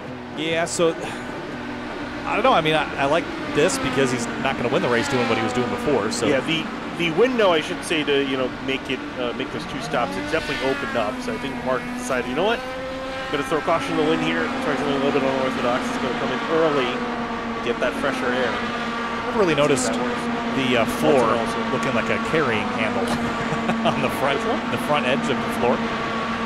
Oh yeah, Looks like it's because pick it up and carry there's it. there's an insert that goes in there. I believe on the road course well. I'm not mistaken. Adam Blocker leading a whole bunch of laps. This will be his 31st lap led. And Jesper Orman on pit lane early. He's led 74 so- laps and is just about 10, 12 shy of uh, leading the most. So Mark Murphy, Julian and now Jesper, Jesper Orman in the 53, all down. So pit stop slowly getting underway here. So trickle drivers down into pit lane. So I'm curious to see now with Mark Murphy once he gets really up to speed, how his lap times are going to look compared to Adam Blocker. I remember that Orman had three or four laps more on his tires than everybody else. He's 36 laps into his run, and we are looks like 64 laps from the checkers this time by. So 64 divided by 2 is 32. Adam Blocker has run 33 laps. I'd anticipate seeing a lot of drivers try to split this down the middle and uh, run two equal 32 lap chunks to the end. And actually, Mark Murphy kicked into the second faster than Adam Blocker last lap through. I mean, I, again, I, once you pass, like, it, this was going to be a three-run race to the end, assuming it goes green. Once you pass that even third mark, I think you're leaving performance on the table. For IndyCar, the the fall off is a lot. I mean, what are we looking at? Nine tenths of a second. That's a lot of time. So, I think if you split this race into three equal chunks, this being the end of the first chunk, I think there's legitimate speed to be had as compared to someone who's going to run it a little bit longer, like Adam Blocker. So we'll see how this pans out. But I like that call by Murphy and by Jesper Right. Orman. He's only getting quicker. It's even five tenths of a second the gap, the gap between their last lap time. So that 69 car is looking pretty quick. And for Blocker, he definitely can't see that data unless he's watching the broadcast and hear me say it out loud because there's no way you can tell the moment his lap time is putting down because uh, a lot of the other drivers though are starting to come on down, trickling on down. Christopher down on pit lane. Andrew Marquez has come down to make his stop. Yeah, it's about uh, about a third of the field has made their uh, second to last stop of the race. And lap times on the left on the left-hand side of the screen for you to see 25.092 for the leader, and for Mark Murphy at 24.704.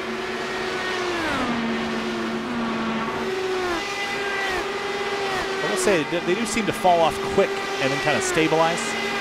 But He, they- he was working through uh, getting past the car, so then you got a little bit of boost from some slipstream. Yeah, even Orman's though uh, is at a 24.5, uh, which is still a couple tenths off. Uh, I guess that's a, that's pretty reasonable. Only two tenths off his best. So look at this: Andreas Ike and Jacob Oster. This is for third, and Hamilton Akabueze way up top, looking forward as well. Yeah, remember, remember Hamilton Akabueze was lightning fast in the last couple laps of the last run. Same thing again here. Don't know what that car is set up for. It- it's weird because uh, and Oscar from the same team, but I don't know the way is just his driving style. He's looking a lot quicker than his team. He's got a big run looking to the outside now. It's like he lit the afterburners, and that thing registered to SpaceX. Look at him go Yeah. all the way to the high side, and he's going to drive around Andreas Ike. Holy cow! It- you know, uh, IndyCar's been waiting to implement their push to pass, their new push to pass with the hybrid system later in the year. It Looks like Hamilton Akabueze already got it, hitting that button and just zooming past some other drivers. Here. Uh, that thing is just on fire right now. Akabueze up to third, 1.3 behind Robert Malechka. And Malechka's about a second behind Adam Blocker, who has uh, dominated the second portion of this race. Tony Showen's on pit lane. And now it's about half and half, those who have pit versus those who have not. And they're all going to be coming down the next couple laps, really pushing the edge of the fuel limit. So in the next three or so laps, you're going to see a lot of the drivers come on down in pit lane. Andrew Wood going to be one of them coming down from the front, down to service.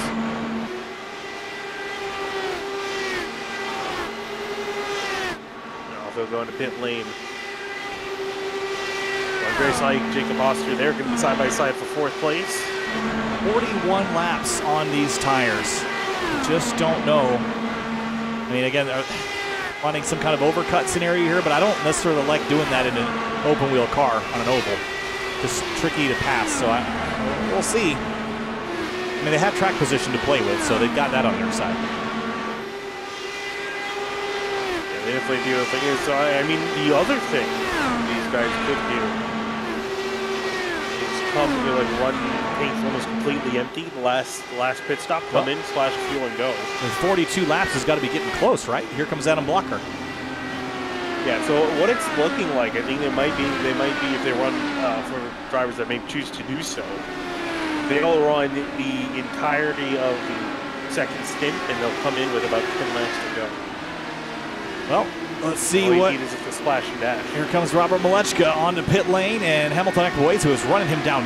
Man, I, if Hamilton Akabueze could have an auxiliary fuel tank, he would love that because his car gets so good at the end. He does, never wants that run to end. I, I was gonna say he can dial his car in uh, somehow uh, through some which wizardry in the iRacing setup uh, to get that car to turn on a little bit, like five, ten laps earlier. He would be a rocket ship for the entirety of the run.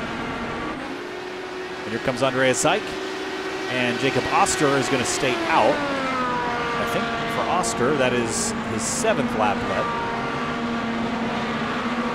Christian Steele, Joe Branch, and Craig Forsyth, the only ones that are left. I just coming in. I hear Joe Branch calling that he's coming in.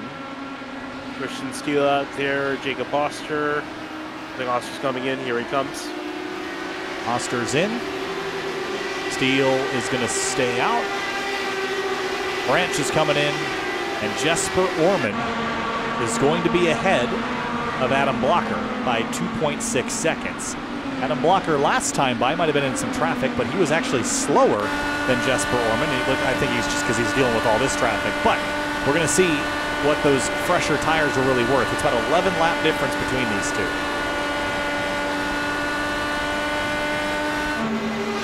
It's going to get interesting as they go up and Mark Murphy, he's right in behind Blocker. There's one lap car between them, but effectively right in behind Adam Blocker. Remember where Orman was running? He was back in what fifth, and he timed So- this. I gotta say, actually, going back to the uh, to around where Mark Murphy is, he's trying to work around Christian Steele. Christian Steele is hypermiling his car. And one thing to point out, the Indy cars, they do have fuel maps, various fuel maps, typically one through five, uh, or what you gotta play with. Five is what you use for when you're under caution, but it almost seems like that's what Christian Steele's running with at the moment. He's really making his car go long. And I'm wondering, he's thinking he has a chance of making it on one stop. to at least I can imagine doing this. Just yelled out on the chatter. He's coming out of pit lane now. I don't know. I don't think it's enough. He's coming. He's coming, but I don't know if he's got enough to make it the second stint. He's only got four. He's only done 48 laps. 50 They got laps? 50 to go. Yeah. And I think this is also including laps run under caution. So I don't quite think he's got enough. That's going to be tricky, but we'll see. I think you're going to give up a lot of time regardless trying to that strategy. But Jesper Orman from fifth to first played the, the pit strategy perfectly to take the lead. The question is for how long? Or does it even matter? Because could he, he could just pit, you know, really any time he wants in the next three or four laps. He'll still have the lead, Finian, and then he'll have his pit stops out of the way. I mean, I, I don't know that Jesper Orman could lose this race as long as he doesn't mess this up. Right? Yeah. Yeah, no, I don't think. I mean, it really comes down to it depends on how much uh, of a run Blocker's going to have on with the fresher tires. That really could be it, may not be it. It- It's kind of up in the air. And again, I'm curious to see for the guys that really ran the tank out, are they just going to run the tank out, come in, get fuel only, ignore the tires, they gain an extra five to six seconds, but that might be all they need. It's just kind of, you know, kind of throw your hands up in the air. I'm like, I don't know, something will work.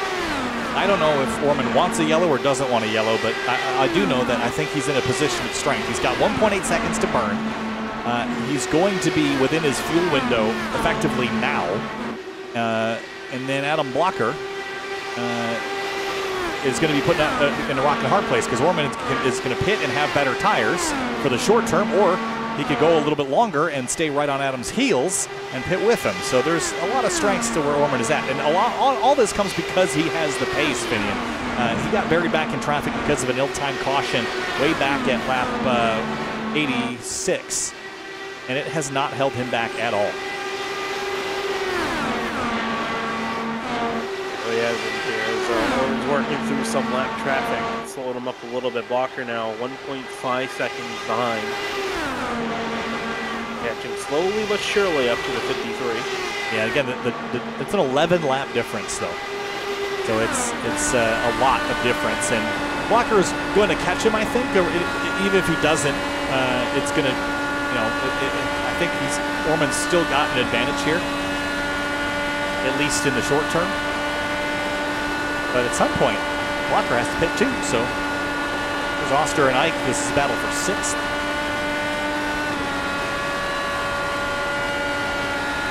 You have to really widen now how uh, now that we completed one seven flag pit stop, so this is going to be a continue on longer. Got lap, spread across about 15 seconds. I think Orman would like to dispatch these lap cars. They're kind of just lingering behind him, which I think is not helping his cause. I think it actually is kind of helping his cause. Cars Well, that Walker's yeah. going to get through. And Walker does have to pass him now. I guess that's an inconvenient truth for him, huh? Walker's a little bit lucky he's catching his tires a little bit fresher. That being said, though, these drivers also have fresh tires. The drivers are dealing with. With 42 to go. That's about the run that Walker did previously. I imagine that you're right. He'll probably run a lot longer in this run because he's only 13 laps in.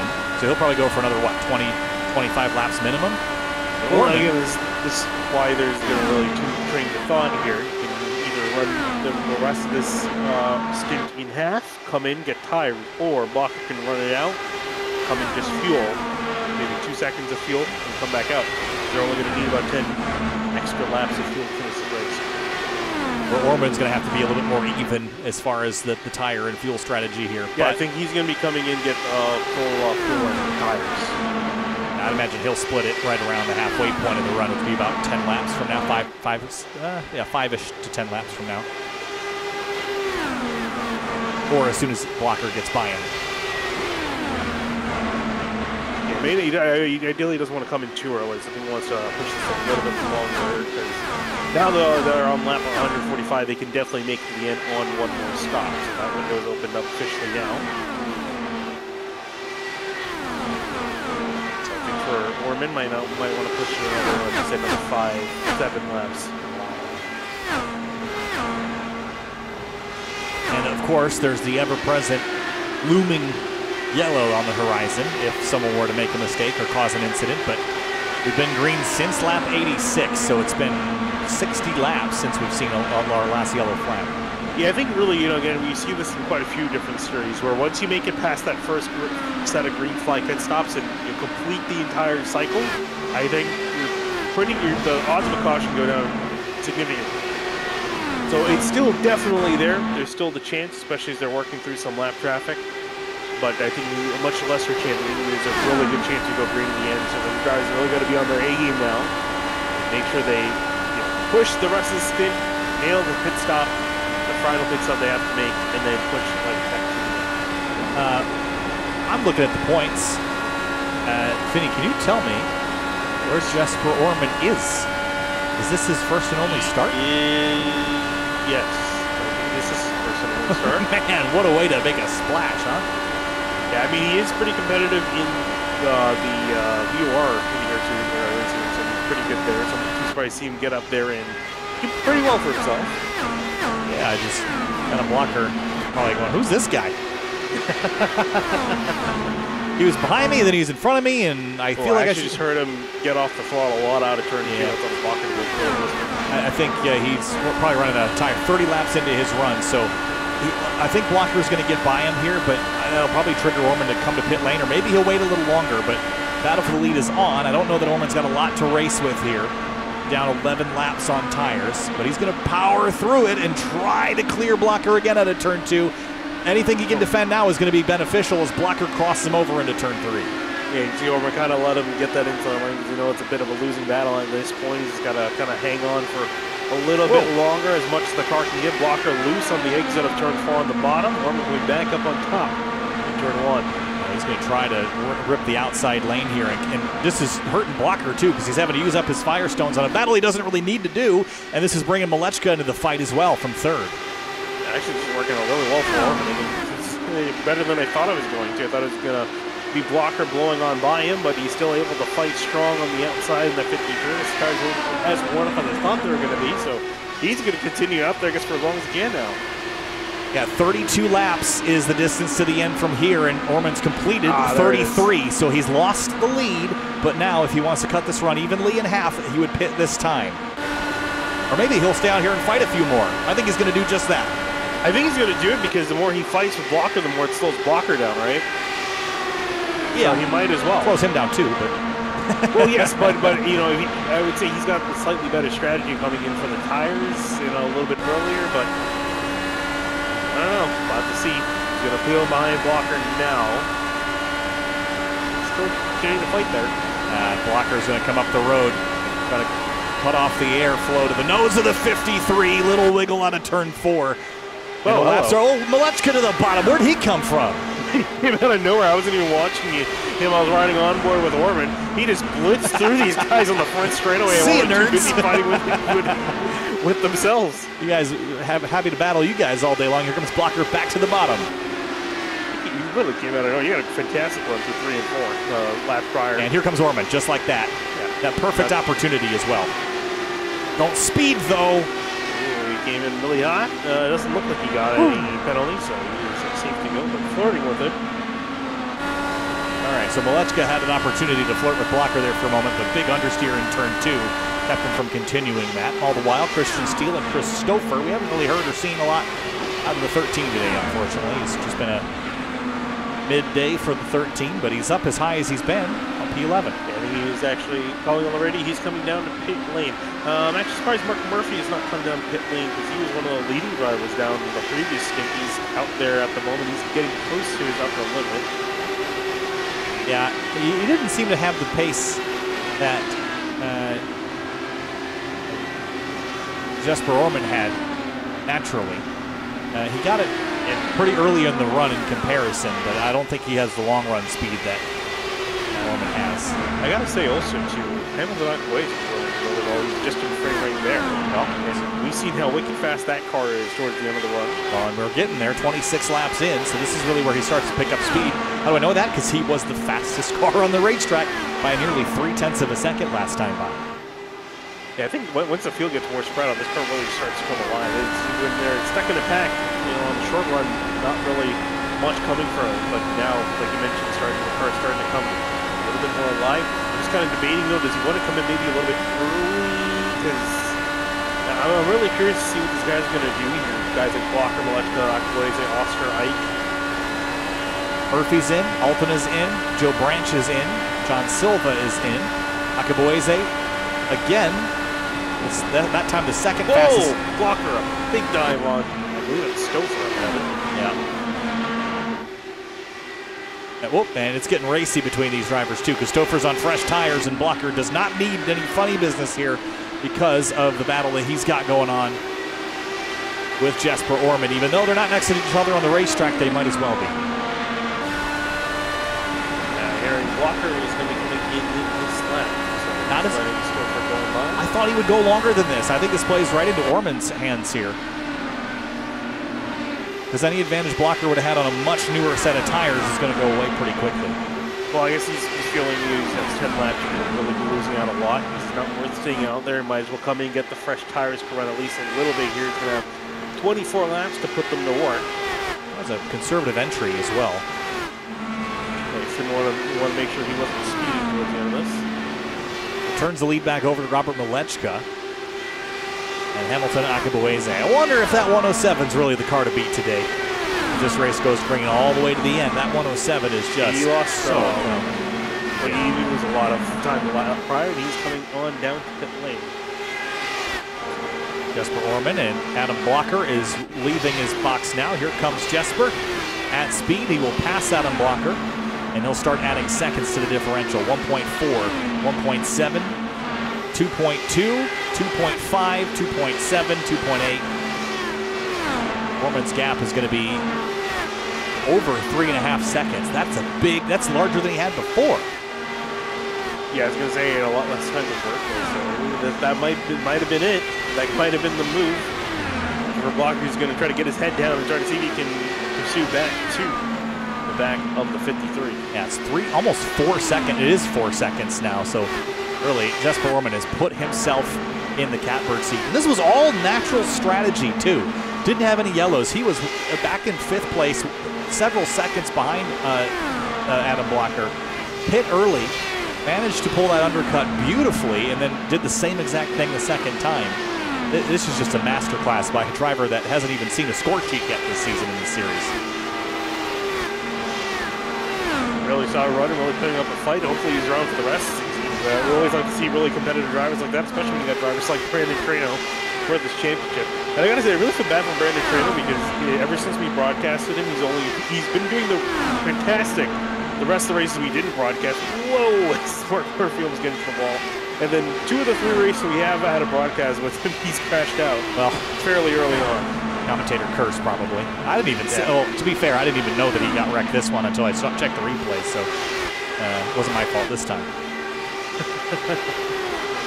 And Andreas Ike is in. Rayshad Craig takes the lead away, and we're 20 laps to go. Getting down to the wire here, less than uh, seven minutes and change remaining in this race is going to take off quickly here. Some drivers yet to make their pit stop as well. Yeah, about a handful of them. Let's see.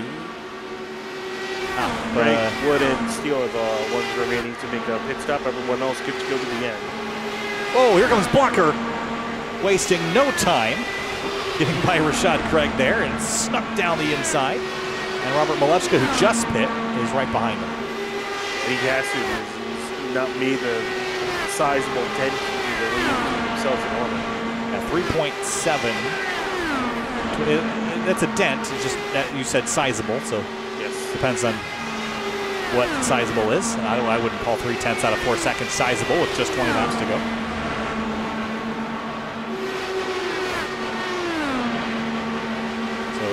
Blocker's got to deal with Robert Malechka in mind. I'm just up, we see him up the road ahead. So not only is Blocker have to try to chase down, he's got to worry about the 91 in endurance. And, and Malechka is going to race Blocker very, very hard. I know, I know Blocker's not really involved in the championship hunt, but Malechka is uh, just a handful of points behind Hamilton Akabueze, who's right behind him on the racetrack. So he needs to put some cars between himself and Akabueze to close in on fourth in the championship. Oster's a little farther up the road than that, but uh, he could make up some points on him as well. It's not like he's making bucket loads of points, just a couple here and there. But how many times have we seen that affect the running order in a championship? Yeah, and especially because again, there are the three drop weeks too. So Malechka, he's run out of drop weeks, missed three, three starts. So he's just looking at trying to gain as much as possible. He gets caught up in a lap car. Uh, Gary Lovern, ooh, gets a little bit loose off of turn two. So he lost a bit of time to blocker there. Not, not convenient. They did make up another about a half second or so on Jesper Orman. But as we've always said, catching's one thing, passing's another.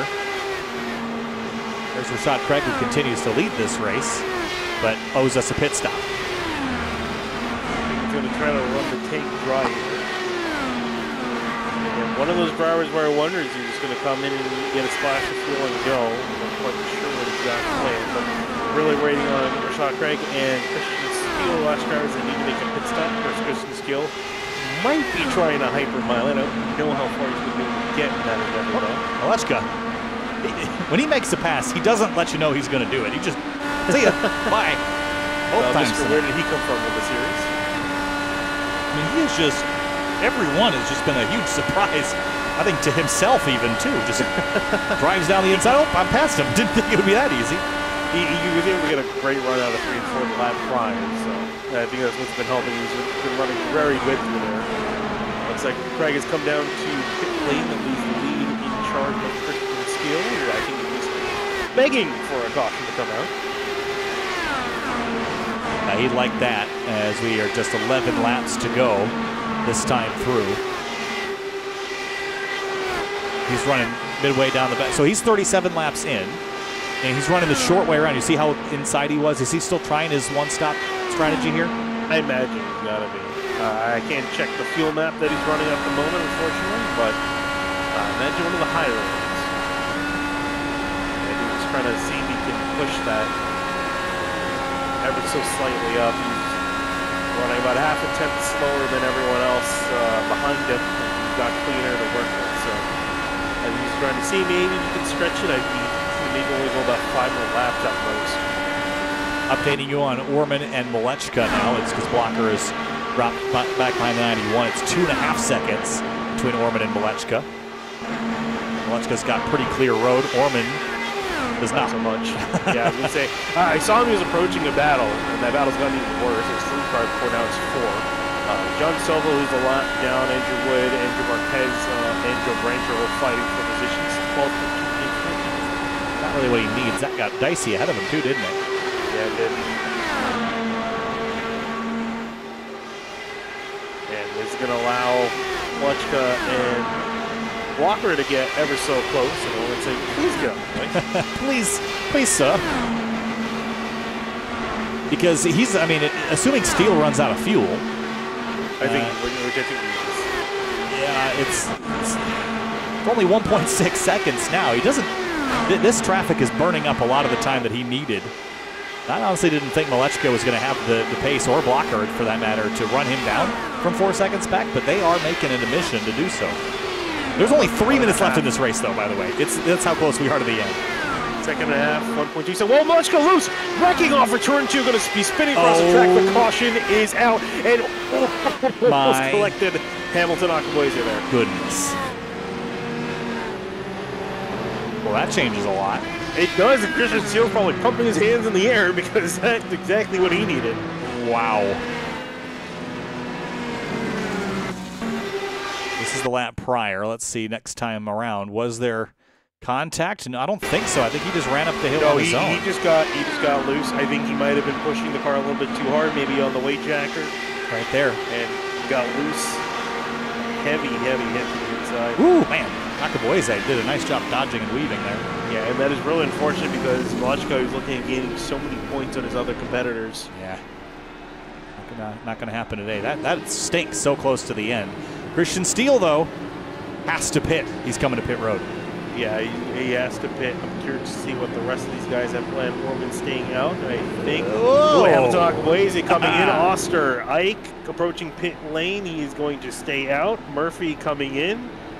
Altena coming in. Craig staying out. Ooh. Oh, this is going to get wild. So uh, pretty much half of the leaders coming in, half of them staying out. And honestly, it's not it's not that absurd to pit, really.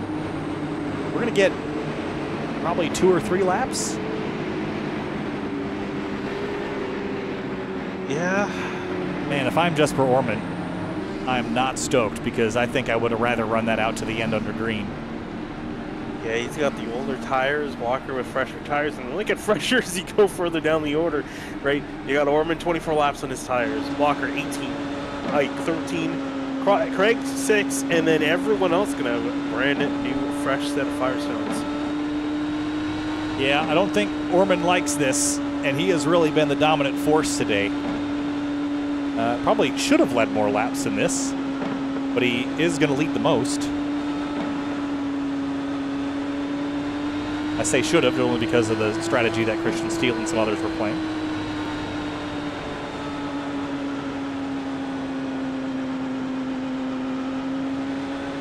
Now I just gotta wonder who picked or who made the right call. I thought there was no way Orman was going to lose this race after he got himself out in front with that undercut. But now he's kind of a sitting duck a little bit.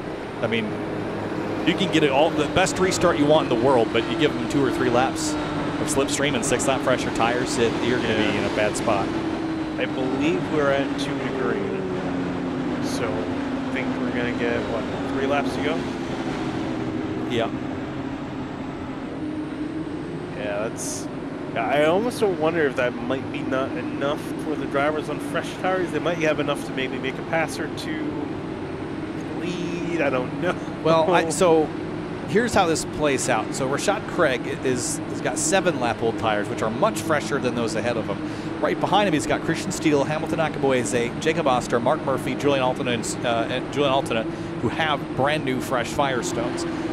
I think Blocker and Ike are going to be all over Orman basically a lap after the restart, if if not even the back straightaway. And as soon as they get two and three wide, they're going to be slowing up so much that I'm looking at Christian Steele and Akabueze as drivers that could win this race if those front three or four battle. If Orman gets a nice clean getaway and, and is able to hold off Blocker for a lap or two, I don't think that they'll be able to make those passes. But if they're side by side, look, look how fast we saw Malechka pass people when they were side by side. He just blew by them like they were stopped. So that's their best chance is just to hope that those front three battle. Uh, hope and pray here as they work past to the start finish line should be one lap to green and four laps to go. How about Rayshad Craig? Got rear-ended that first wreck of the day. Yeah, big big recovery and still has a chance to gain a lot depending on this plays out. He's in a really good spot, actually. I think he would be in a much better spot if he didn't have five cars behind him with brand new tires, but he's got the second newest tires of the top 10. It, it, it could be worse. Could be a lot worse. So if you're Jesper Orman, how do you play this, Finian? I mean, we, we've seen double file restarts play out time and time and time again, but single file's a different animal. Hit the gas pedal. there really isn't much you can do, right? I mean, he's got to have to kind of hope and pray because you're going to have three laps. It's enough. You know, typically two laps. It's, it's uh, two laps to go. The restart. It's a bit hard to get up to speed, make a move. Three laps. That extra lap does help a lot, especially with the IndyCar to get lined up to speed. The gaps close back in after the initial jump. So Orman's just got to kind of have to get going as soon as he can, and just kind of hope everything plays out in his favor. Well, not the older tires for him are going to end there. It is a Triple Crown race, the final three laps, and we got no funny business. This race ends at the scheduled distance tonight, 184 laps in. The Catalyst 317 Indy Elite Series races next at Long Beach. But here goes Jesper Orman on defense. Three laps to go at Texas. Green flag.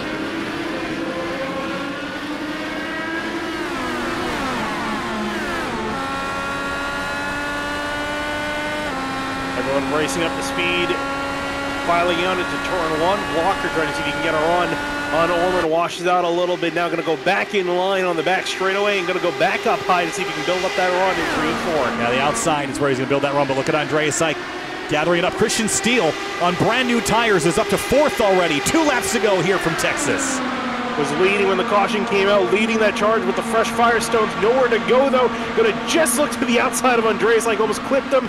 He's going to be a little bit too high, still going to have to back off, lose a lot of momentum. Yeah, he had to back way off. Here comes Blocker to the middle here. Andreas Ike was going to look high. Orman still on the bottom trying to defend it. He spent the entire race carving back things he lost under a badly timed yellow. He's just got one lap left, a mile and a half left at Texas to cling to it here. Jesper Orman, here comes the two to the bottom. Oh, he's going to tap Orman out of the way, push him up high, and a big wreck. Huge wreck in turns one and two. It's the white flag. We're going to races out. Christian Steele racing it down. Hamilton on Akabueze, Rayshad Craig in third. Oh, man. Checkered flag. Christian Steele wins at Texas. Hamilton Akabueze second. Craig third. Murphy fourth. Altena fifth. And a huge crash out of turn two. And that one I'm sure will end in controversy. Oh, yes. and, well, you know what we say, everything's bigger in Texas, including the controversies.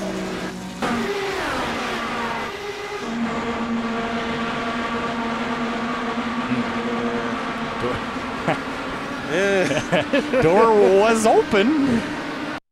But was it really? I mean, it's one of those things, right? You kind of have to judge it based off of the car racing. Yeah, that's. Yeah, I'm not going to say anything because you know we're the broadcasters. try to be impartial with it, but I know how I feel about necessary, it. I'm not. Yeah, I was going to say I know how I feel about it. I don't know that I will share it, but no. What a mess! And for Jesper Orman, twelfth in that crash out of turn oh, two. Man, look at Jacob Oster also caught up in it. All the major players really caught up in there at the end. Yeah, there was Andreas Ike in it. Man, look at everyone parking all over the place trying to finish this thing. Gosh. Oh, there goes that camera. And Adam Blocker's perspective.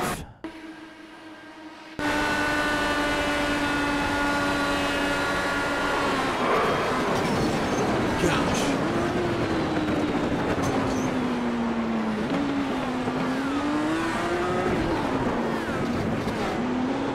You recall, Finian, a couple years ago, in a very similar situation and a very similar result. I don't recall off the top of my head. Oh. Yeah, I mean, the two has a huge head of steam coming here. I mean, the door is open. So you, if you don't go, you're not going to win the race if you don't go for that hole. But yeah, it's uh, that's a tough one. Bam. Yeah, I mean, I mean, really, the, the thing is though with these rocks, you really have to view them at speed. yes. Well, let's let's see and, what happens at speed. Do that.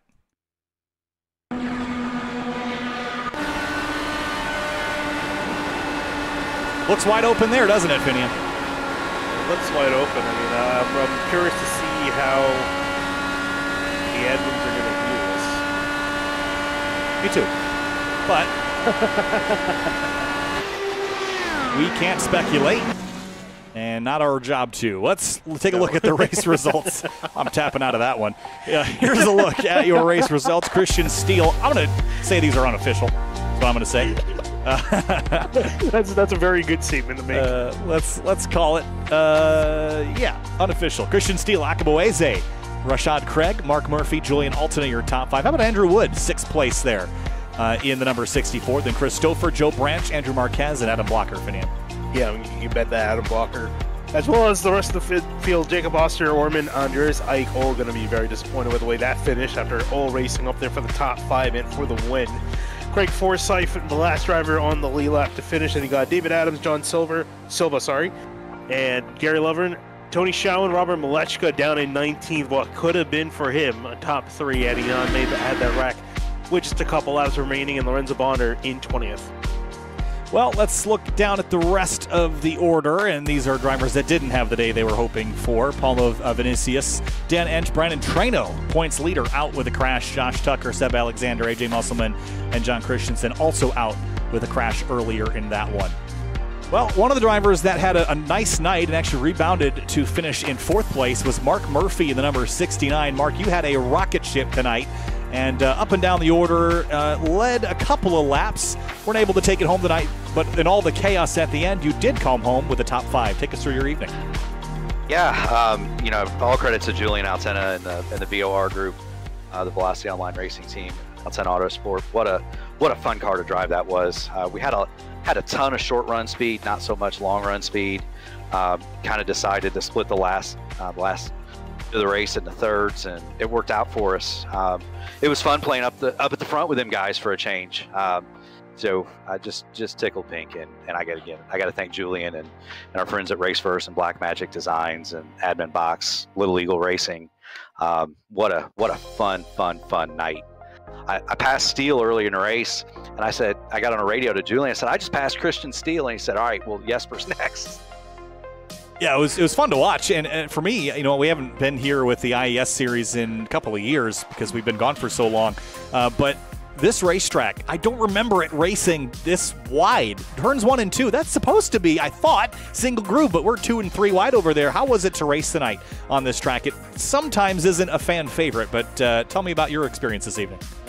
Man, I love it. I love this. I love this track because it has so many possibilities. There are an infinite number of lines in this car now, with, with the setups being refined, and uh, you know, thankfully in iRacing we don't have the we don't have the black goo at the top uh, that they put down for the NASCAR cars. So um, it's there's an infinite amount of lines up there, and there's grip, and uh, you can really, if you can make the high line work, you can go from the back to the front in a hurry, and uh, that's that's what we did. And and I texted Julian before the race. I said, man, I'm gonna gonna, you're going to have to rename me Harry after tonight because I'm just going to run the fence, and it worked. Well, Mark, it was a pleasure to watch a great race tonight from 12th back to 17th, up to the lead, and then to fourth. Bring the 69 car home in the top five. Congratulations. Hey, thanks, guys. Thanks for doing this. You have a great night. You hear? Appreciate it. Thanks a lot. Sir. And Hamilton Akabueze comes home in second place in a barrage of uh, carbon and sparks and big crashes out of turn two. Uh, you come home in second place and avoid all the post race drama. Uh, take us through your evening because you had a missile at the ends of the runs. It seemed like that car would just pick up 10 mile an hour when it was low on fuel. Oh man, yeah. I mean, I was just, I felt like I was doing a really, really good job of tire saving that whole race. Like being able to just stave on the bottom because no one was really even going to the bottom and then just rocket past everybody. Like, again, like way better tires. Um, yeah, I'm I'm lucky I didn't get killed in that wreck. That was that was crazy. Kind of went through it a little bit. Luck on my side, and yeah, ended up P2. Yeah, and as far as the championship is concerned, uh, you come into the night fourth in the standings. The driver that you were fighting closest was Robert Malechka, but he had an incident late in the race, so uh, you actually gained a few spots as well on Oster because of his involvement in the collision. So, what are the goals for the last couple races in the championship? Are you just going to try to squeak away that third place in the title? I'd love to get that third place. Also, keeping the one through four for I5G would probably be a big goal. But yeah, I'd love to get that third place from Jacob. And I mean, we're usually running around the same place, so it'll be interesting for sure. Hamilton, thanks for talking to us. Congratulations on a P2, and we'll see you next at Long Beach. Thank you. And Christian Steele put a fresh set of Firestones on, and you just lit the afterburners and down the inside in turns one and two and made it work take us through that restart. It was from a long ways back, and Finney didn't think you're going to be able to do it, but then you did it. Yeah, what a crazy end to the race there. Um, yeah, yeah, I was trying to make it on fuel there at the end of the race, and fortunately the caution came out a lap or two uh, too late for me to want to, you know, be able to make it to the end. Um, so yeah, I just I knew that I had a good car on the high side, and you know I would have been able to make it stick. And a lot of people kind of had to use up all the whole track, so I was ready to rip the high side. Um, Andreas had it pretty well covered entering one, so I just decided, okay, Andreas is going to go high, then I got to go low. And I saw, you know, a car with gap there at the bottom. Um, you know, I'm going going for for the win there, and yeah, uh, just really tough deal with Jesper there. You know, he had a really good race, so I feel I, I still feel bad about like the outcome. Um, but you know, like I, I really don't think I did anything wrong there. I just tried to, you know, shoot the gap, and you know, I just don't think he saw me there, and he started coming down, and we we had contact there. So. Well, you managed to make it stick, and you went on to win the race, and it was your second win on the season. Uh, going back to uh, Worldwide Technology Raceway is where you got your other win just a couple weeks ago. Now, we have two road courses left and the Indianapolis uh, 500. What are the goals for the last couple rounds of the championship here? Brandon Traino had trouble tonight, but uh, it's going to take a lot uh, to be able to come out on top ahead of him. Yeah, obviously Traino um, is still the guy to beat on the road courses. So I'd love to just get as competitive as I can with him and him and Adam and, and Rob too. Uh, I absolutely love Long Beach and Barber. So uh, I really can't um, go wrong with that. My goals are to have fun, pretty much. I don't think uh, the championship is really in the cards, but um, yeah, it'll be a great end to the season, and yeah, should be should be a lot of fun. Well, winning is fun. You got your second one on the season, Christian. Congratulations. We'll see you at Long Beach in a few weeks. Yep. Thanks, guys. Thank you. All right, Finian. Wow. Uh, didn't disappoint. Texas is a wild, wild racetrack, and this was a wild, wild night. But uh, one thing I did learn is that uh, everyone's willing to lay it out on the line for a race win in this series because it is just so hard to get it done. We've only got one oval race left this season. It's at the Brickyard, of course, but two road courses until then Long Beach in a couple weeks' time, and then Barber Motorsports Park. So uh, from muscling around and sending you know big sends, it now just turns into uh, clipping apexes and uh, and jumping rumble strips for the next couple of weeks. Yeah, I was gonna say really interesting racing coming up uh, in the next couple weeks, especially with Long Beach. I'd love to see the Indy cars running around there. It's such a great track to lap, and also to race. We'll see how they perform. Uh, one of the next big races in the season. Yeah, that'll do it for us tonight here on SYM TV. Thanks for sticking with us. This was a, a seemed like a pretty short race when in, when you look at the laps, but uh, over two hour show tonight, and we've got more for you tomorrow, Tuesday, Wednesday, and Thursday. Full week here on SYM TV before we'll take a break for a little while. Texas is complete on to Long Beach on April 7th, then Barber April 14th and the 5th of May for the Indianapolis 500. Again, if you'd like to qualify for the Toyota GR Cup North America Esports League, one day remains. You got to put in your time attack app in the iRacing UI on Sonoma and COTA. If you want to be a part of that, you got to be top 40 of the North American contestants. Thanks so much for everybody from watching the Catalyst 317 Indy Elite Series Triple Crown event from Texas. We'll see you next time here on SYM TV.